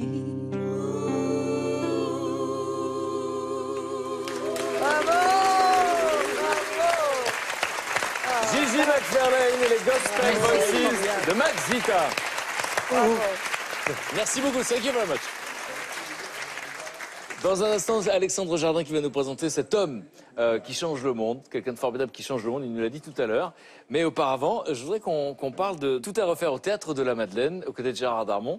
Donc euh, on le rappelle pour ceux qui nous rejoignent, ce sont ces deux amis qui sont une terrasse de café, qui refont le monde, qui sont un peu nostalgiques, un peu trop, ce sera un jugement de ma part, mais en tout cas c'est le cas, c'est ce que pense le troisième personnage de, la pièce. On est dans la, terrasse d'un café, donc euh, Gérard et moi. Et puis il y a une petite euh, serveuse, qu'on croit être une serveuse, qui est là, qui est, qui est interprétée par euh, Ornella Fleury, et euh, qui, qui écoute notre conversation et qui s'en mêle. Et qui au bout d'un moment me dit, vous pensez vraiment que ce serait tout à refaire, vous le referiez? On fait, ah ouais, ouais. Et en fait, elle est en train de nous dire, euh, non, je crois pas. Je crois que vous avez... euh, Il y a quelque chose de magique dans l'âme, c'est qu'elle arrive à gommer, ce qui est vrai pour chacun de nous, on arrive à gommer les mauvais souvenirs et se souvenir Oh, que du oui. bon du passé. Or, dans le passé, il y a plein de choses qu'on n'a pas du tout envie de revivre. Et si vous étiez obligé de revivre que ça, je crois que ce serait beaucoup, moins drôle que vous le pensez. Et par un subterfuge, elle va nous faire euh, revivre voilà, toutes, les, dé- toutes les décennies et toutes les emmerdes qui vont avec. Donc c'est l'occasion de rire beaucoup dans cette pièce avec, euh, avec ça, et sur, sur, bah, sur les emmerdements. Parce que finalement, les emmerdements, c'est assez drôle. Pas tous, mais il y en a quelques-uns qui sont assez drôles. Bon, et on va regarder un extrait. C'est avant qu'ils le retournent dans le passé, me semble-t-il, puisque c'est un moment de complicité entre eux. On voit à quel point ils sont complices, ils, ils se parlent franchement. Oui. On regarde. Regarde, toi, par exemple. Hein tu as toujours été avec des belles femmes, oui ou non? Ouais, ça arrive là, toujours là. Très bien. Alors, tu t'es marié trois fois, avec, euh, dans le désordre, hein, et sans préférence. Il y a eu euh, Muriel, euh, Isabelle, Yvette. Oui, bon. Alors là, le, le prénom est trompeur, mais oui. Bah, Yvette, c'est très violent. Ouais, Yvette, ouais, ouais, ouais, c'est- violent. Bon. Euh, T'as divorcé trois fois, parce qu'elles étaient aussi chiantes que jolies, oui ou non? Non, c'est un peu un Non, non, non, mais attends, attends, attends, attends, attends, laisse-moi finir. laisse-moi finir. Bon, aujourd'hui, tu es enfin heureux avec Anne, avec qui tu vis depuis combien? 7 ans? Oui, bon, 8. Bon, c'est- Bon, 8 ans, d'accord, très bien. Attends, attends, j'y viens. Bon. Pourquoi tu es enfin en harmonie dans ton couple? Ah bah, tu vas me le dire Oui. Tout simplement parce que Anne, elle est facile à vivre. Ouais. Voilà. Et pourquoi elle est facile à vivre? Eh bien, tout simplement parce qu'elle est un peu moche. Génial. Ça s'appelle Tout à refaire au théâtre de la Madeleine. Gérard Darmon et Philippe Lelouch. Et donc, je ne peux pas empêcher de penser que vous êtes du genre un peu nostalgique. Oui, je le suis, oui, absolument. Mais c'est un tempérament. Je suis né nostalgique, je ne sais pas pourquoi. Tout petit, euh, déjà, je me souviens très bien, j'avais 7 ou 8 ans et le soir du jour de l'an, j'allais m'enfermer dans les toilettes à minuit moins 10 pour dire au revoir à l'année qui passe. Alors que j'avais 8 ans, quoi, en disant au revoir 1978. voilà, il y a un truc comme ça euh, complètement dingue. Vous étiez déjà triste de laisser derrière oui, vous, en fait. Oui, j'ai- toujours une euh, conscience exagérée du temps qui passe. C'est vrai que j'ai une difficulté dans ma vie à tourner les pages. C'est quelque chose. euh, les gens que j'aime, il faut que je les aime toujours. Donc j'arrive pas à me dire, bah, je les verrai plus. J'ai encore des copains d'école, moi, et tout ça. C'est, euh, je, je ne sais pas rompre avec le passé. Bon, Gérard Darmon, dans la vie, vous connaissez très bien. Ouais. Sur scène, c'est la première fois. C'est formidable parce que c'est comme jouer au tennis avec euh, Nadal, quoi. C'est un tel acteur qui, a, un sens du rythme absolu. Il a cette donnée commune avec Macha, c'est qu'ils n'ont pas d'âge, ces gens-là. Ils sont tout le temps jeunes. Ils sont d'un enthousiasme débordant. Quand, tout d'un coup, je lui dis, viens, on joue cette pièce tous les deux, d'accord euh, Allez, on va la jouer à la Madeleine. Je l'entends au bout du fil qui me fait, yeah. Et je me dis, mais pourvu que j'ai ça toujours. Et alors, c'est vrai que c'est propre peut-être à nos métiers parce qu'on dit, nous, on travaille pas, on va jouer. C'est fort quand même comme sens. Bon, et en plus, c'est extrêmement jubilatoire Ouais. pour vous sur scène. Philippe Lelouch réalise ses rêves. Mesdames, Messieurs, ça se passe au Théâtre de la Madeleine. Tout à refaire. Et je vous recommande la pièce. Vous allez beaucoup, beaucoup rire. Et puis, forcément, vous allez penser à votre propre vie. Forcément. Ça touche tout le monde. ouais. Et alors, euh, on a la sensation qu'on vous connaît bien parce que vous avez déroulé comme ça le parcours de votre vie. Mais on avait envie de vous proposer euh, un dernier exercice avant de rencontrer euh, l'homme formidable que va nous présenter Alexandre. Et c'est Thomas Nucci qui va vous proposer cet exercice. Thomas.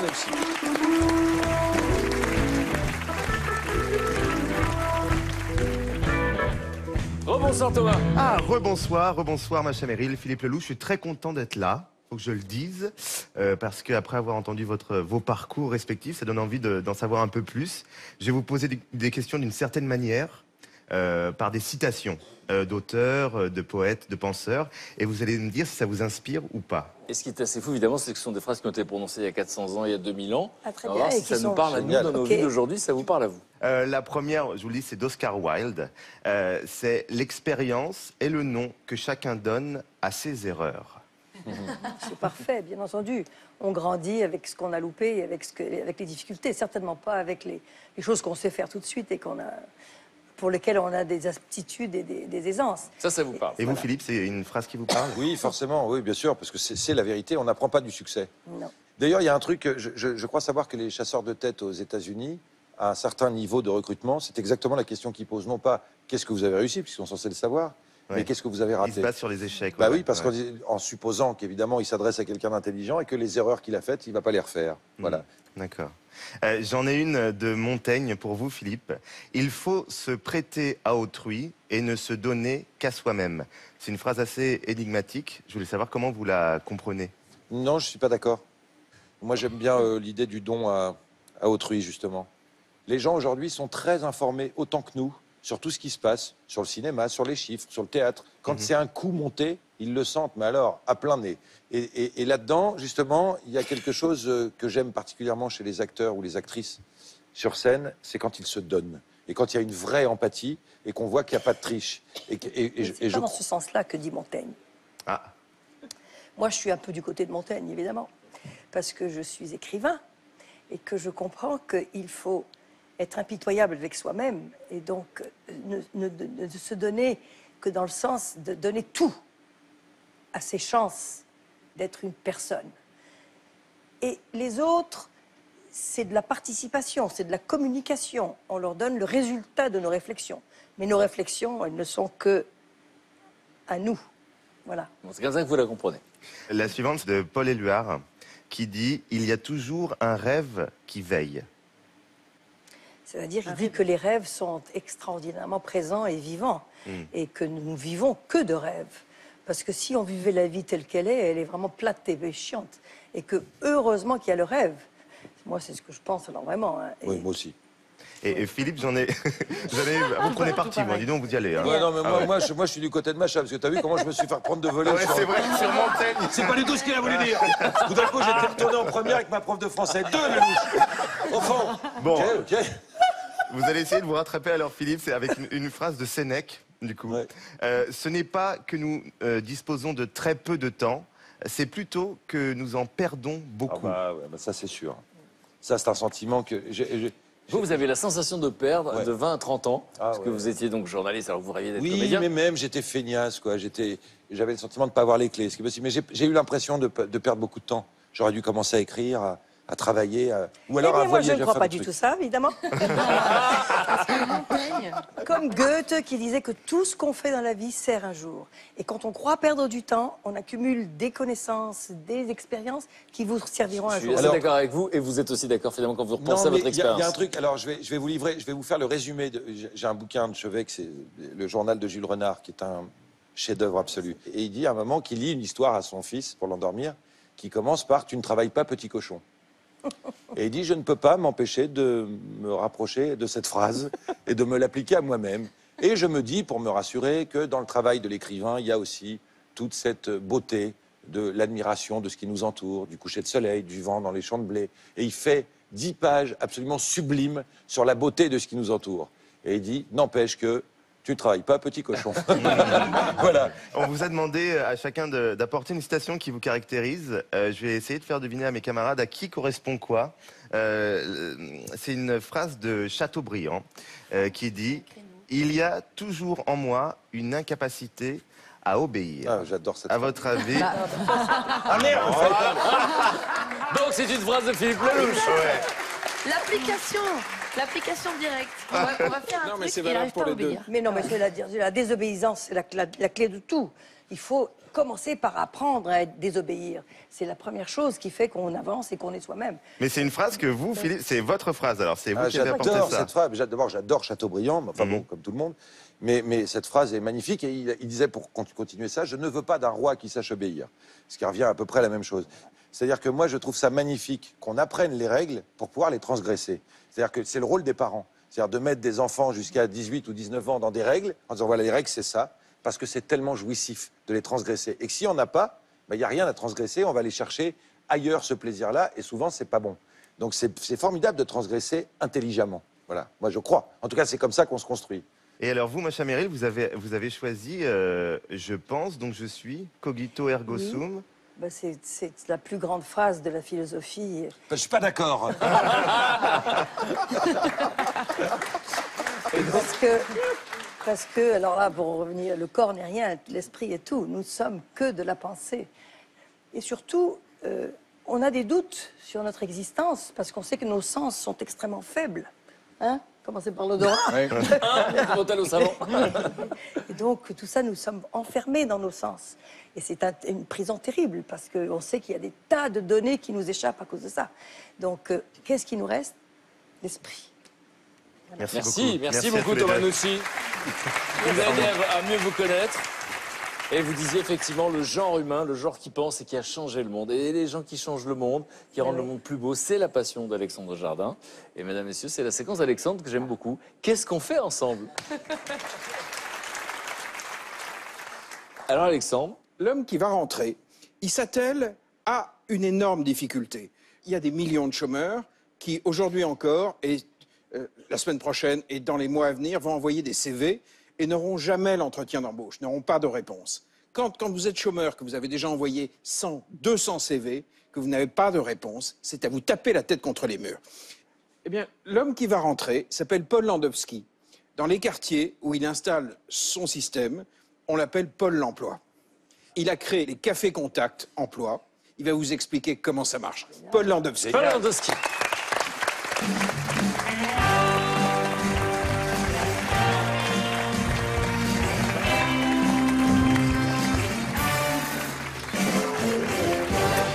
Bonsoir Paul, bienvenue. Alors cette idée extraordinaire, Qu'est-ce que c'est? L'idée de départ. L'idée de départ, c'est de mettre euh, en fait euh, en lien direct des employeurs qui offrent du boulot réellement, instantanément, dans un café, dans un lieu public, convivial et de façon informelle, avec des gens en recherche d'emploi pour des postes immédiats tout de suite. Comment vous est venue l'idée? Alors l'idée, elle est m'est venue euh, quand je cherchais du boulot il y a, il y a 9 ans. Et euh, en fait, je me suis dit, c'est trop galère, on n'a pas de courrier, on ne reçoit pas de, de réponse, ni positive ni négative. Donc j'ai pris mon destin en main, je l'ai bousculé, et j'ai invité des employeurs dans un café. Vous vous appelez quoi? Les employeurs qui ne vous donnent pas de réponse, vous leur demandez de venir dans un café? Quand on offre à boire et à manger, ça marche souvent. Hein. C'est génial. En quoi. fait, tu donnes un peu et tu reçois. Et la, pre- la première fois que j'ai assisté à un, un café contact emploi, c'était Porte de Clichy à Paris. Paul s'est mis debout sur une chaise et a dit Dans un café contact emploi, tout le monde a l'entretien d'embauche tout de suite, 100%. Les gens, les entreprises ont été se mettre derrière une table, ils ont plié une feuille en papier, ils ont écrit, et tout à coup, les queues se sont formées. Raconte la suite. Parce qu'en fait, c'est 100%, 100 d'entretien pour tout le monde. Parce qu'aujourd'hui, quand on cherche du travail, vous le savez, vous n'avez même pas un rendez-vous. Là, il y a les rendez-vous et à la fin. Tout de suite. Tout de suite. Et le scoop, encore l'autre jour, il n'y a pas longtemps, pour un événement qui était à Aubervilliers, il y a des personnes qui ont trouvé du travail le jour même. C'est de l'instantané. Ce qui est extraordinaire, c'est que d'une conviction, ça a créé mon emploi parce que j'avais pas de travail à cette époque, et ça crée de l'emploi aux autres, et on peut créer des milliers d'emplois, et on fait baisser le taux du chômage. Quelle proportion de gens retrouvent du boulot dans les cafés contact emploi? Ben, on a fait 173 cafés contact l'emploi. Ça représente 20 000 candidats, 2 000 employeurs approximativement qui changent, qui reviennent ou qui viennent plus, des nouveaux. C'est 10 de contrats de travail. C'est énorme. Et on est un médicament social. Pourquoi Bah, L'espoir. L'espoir et le lien social. Beaucoup de monde qui viennent au café contact de l'emploi, euh, parfois n'ont plus de contact, sont repliés sur eux-mêmes. Donc on retisse du lien et ça fonctionne. Les gens me disent quel bonheur. Alors je dis mais t'as pas trouvé du travail aujourd'hui? Non, mais j'ai eu une écoute, une reconnaissance. Alors, comment vous recrutez les employeurs? Vous savez qu'ils cherchent un certain type de, de personnel? Ils vont, ils Alors. Maintenant, on a tissé un super réseau. On les connaît pas tous, mais ce qui est extraordinaire, c'est que les entreprises qui viennent, elles nous disent j'ai un poste, sinon elles ne peuvent pas venir pour s'inscrire. Mais souvent, elles découvrent des candidats pour des postes auxquels ils n'avaient jamais pensé. C'est ça. Ah, voilà, ça c'est intéressant. Eh oui, Eh oui, c'est euh, eh alors, oui, c'est là alors, le truc. Alors, moi, je demande vraiment aux gens qui nous écoutent, s'ils ont envie que ça, que ça arrive dans leur, dans leur commune, ils vont en parler à la mairie, par exemple, ils vont en parler euh, avec l'équipe municipale, et ils prennent contact avec les cafés contacts. Quel est le site? Alors, W3 fois, cafécontactemploi.fr. Voilà. Et hop, ça vient dans votre quartier. Et on m'a dit que vous aviez fait ça dans un train. Alors, on a fait des événements. J'ai profité du lancement TGV Est pour faire du café contact de l'emploi dans le TGV entre Strasbourg et Paris. Génial. Donc, j'ai récolté des employeurs que je connaissais pas. Le, le- le contrôleur a, fait, a passé l'info dans le train. Et on a eu aussi des contacts. Attendez, des gens qui n'étaient pas prévenus, qui étaient dans le train, Ah bah, je qui connaissais étaient pas. employeurs, qui ont entendu l'annonce, Oui. ils sont présentés. Mais bien sûr. De chômeurs, il y avait et ensuite- beaucoup de Et chômeurs. ensuite, il y a des gens qui ont, qui a du travail. Voilà. Et il y a eu des propositions qui sont faites pendant le voyage des 2h30. Ça, c'est un exemple. Donc on peut le faire n'importe où. En fait, on est sur la plage. On dit est-ce qu'il y a des employeurs pas. Mais on peut trouver les entreprises. Oui, oui. Attention. C'est ça. C'est là, c'est- c'est c'est là où c'est quand même un énorme boulot. Les chefs d'entreprise, pourquoi ils acceptent de jouer le jeu? Bah, ils acceptent de jouer le jeu parce que, un, ils gagnent du temps. Deux, c'est pragmatique. Trois, aujourd'hui, ça fait quand même neuf ans que ça tourne. Ça fonctionne. Ça leur donne une image en termes de communication qui est très positive. Et en plus, ils voient les gens en temps réel. Mais moi, ce qui m'enthousiasme, c'est qu'au départ, Paul l'emploi, il était chômeur. Et tout à coup, il s'est pris lui-même comme point d'appui, il s'est pas mis à gémir, il a mis en place un système. Il est devenu acteur. C'est quoi la prochaine étape? La prochaine étape pour nous, c'est euh, de pouvoir créer des antennes nationales avec des agents, enfin des correspondants, de les former à faire ce qu'on fait. Et ça crée de l'emploi en plus de ça euh, un peu partout. Après, euh, on a quand même une étape fondamentale, c'est de tisser des partenariats avec des entreprises nationales. Et la dernière, c'est qu'on puisse signer un pacte national avec Pôle emploi. Bah, tout simplement. Par exemple. On a un outil un. complémentaire, mais Oui. qui est unique. En tout cas, euh, euh, bon, on est tous impressionnés parce qu'effectivement, Ah oui, quand vous le dites, ça paraît simple. On a la sensation qu'il n'y a pas eu beaucoup d'obstacles. c'est dingue. faire. C'est surtout que j'ai pas attendu. C'est-à-dire que les obstacles, ça me plaît, ça m'excite. Donc plus il y a d'obstacles, plus on me dit non, plus j'ai envie d'avancer. En fait, c'est ça. C'est ce que je propose à tout le monde. Landowski, mesdames, messieurs, merci, beaucoup. Vous avez résumé ça dans un livre qui s'appelle L'emploi, un combat. Paul Landowski, vous parlez de votre expérience, vous savez de quoi vous parlez. Merci beaucoup. en tout cas. Merci d'être là. Alors, je vous pose la même question à quatre invités. C'est ma dernière question. Euh, Qu'est-ce que toutes ces expériences vous ont appris que vous aimez transmettre? Je suis devenu milliardaire, vous savez de quoi? Du lien social. Quel bonheur quand Ah on oui. va dans des événements Et de voir des visages c'est- qui changent. et qu'on nous remercie. Et Eh oui, Et ça, ça, ça. vaut de l'or. C'est infini. La vie, c'est une fête et moi, je m'éclate. Merci, Paul Landowski. Roland. Roland, je rappelle aux téléspectateurs, euh, Roland Salès, que vous êtes euh, euh, chercheur et sur la question de l'odorat. Et donc, qu'est-ce que la vie vous a appris que vous aimez transmettre? C'est presque une tautologie, mais la vie m'a appris la vie. Moi, je suis biologiste. Au départ, je ne savais pas ce qu'était la vie. Pour moi, c'est ça, c'est un émerveillement permanent. Et en même temps, quand on fait de la recherche, ben, on trouve que derrière, il y a des mécanismes et qu'on commence à les comprendre et que tout ça, ça, donne un sens. Et ça, a donné un sens à ma propre vie à travers cette expérience. Merci beaucoup. Roland Salès. Macha, qu'est-ce que la vie vous a appris que vous aimez transmettre? Que les défauts peuvent devenir des tremplins et que les défauts sont peut-être des qualités parce qu'elles obligent à changer, à, à s'améliorer. Voilà. Voilà, travailler. Cultive ta différence, c'est toi, disait Cocteau, c'est ça? Et euh, Philippe Lelouch, je rappelle qu'on peut vous voir en vrai euh, au Théâtre de la Madeleine, dans cette pièce Tout à refaire que vous avez écrite. Vous nous avez raconté beaucoup d'expériences de votre existence. Qu'est-ce que toutes ces expériences vous ont appris que vous aimez transmettre? Il y avait un, un désir de transmission. J'ai une image dans la tête. Je, je crois en Dieu et je crois que Dieu réussit cet exploit, euh, ce miracle, de nous faire croire à tous qu'on a le premier rôle. Et on a le premier rôle de notre vie. Alors faisons ce film-là, qui est notre vie, un très joli film. Voilà. Merci, merci beaucoup. Voilà, je remercie évidemment mes camarades et je voudrais remercier le public, les téléspectateurs. On va se quitter euh, sur une, une chanson. Euh, vous allez écouter les paroles, vous allez faire attention pour être juste tous ensemble. Je remercie euh, Max Zita et les Gospel Voices, Oran Delpla, Gigi McFarlane, Noman Nesni, Thomas Nucci, Nicole Ferroni, Alexandre Jardin et Noémie Delattre. On y va? On y va tous. Merci beaucoup tous. tous sur scène. nous aussi, on y va aussi, Merci à vous. Merci au public. My feelings are out of business. I won't surrender. Clean all the dust. Dream of a lover.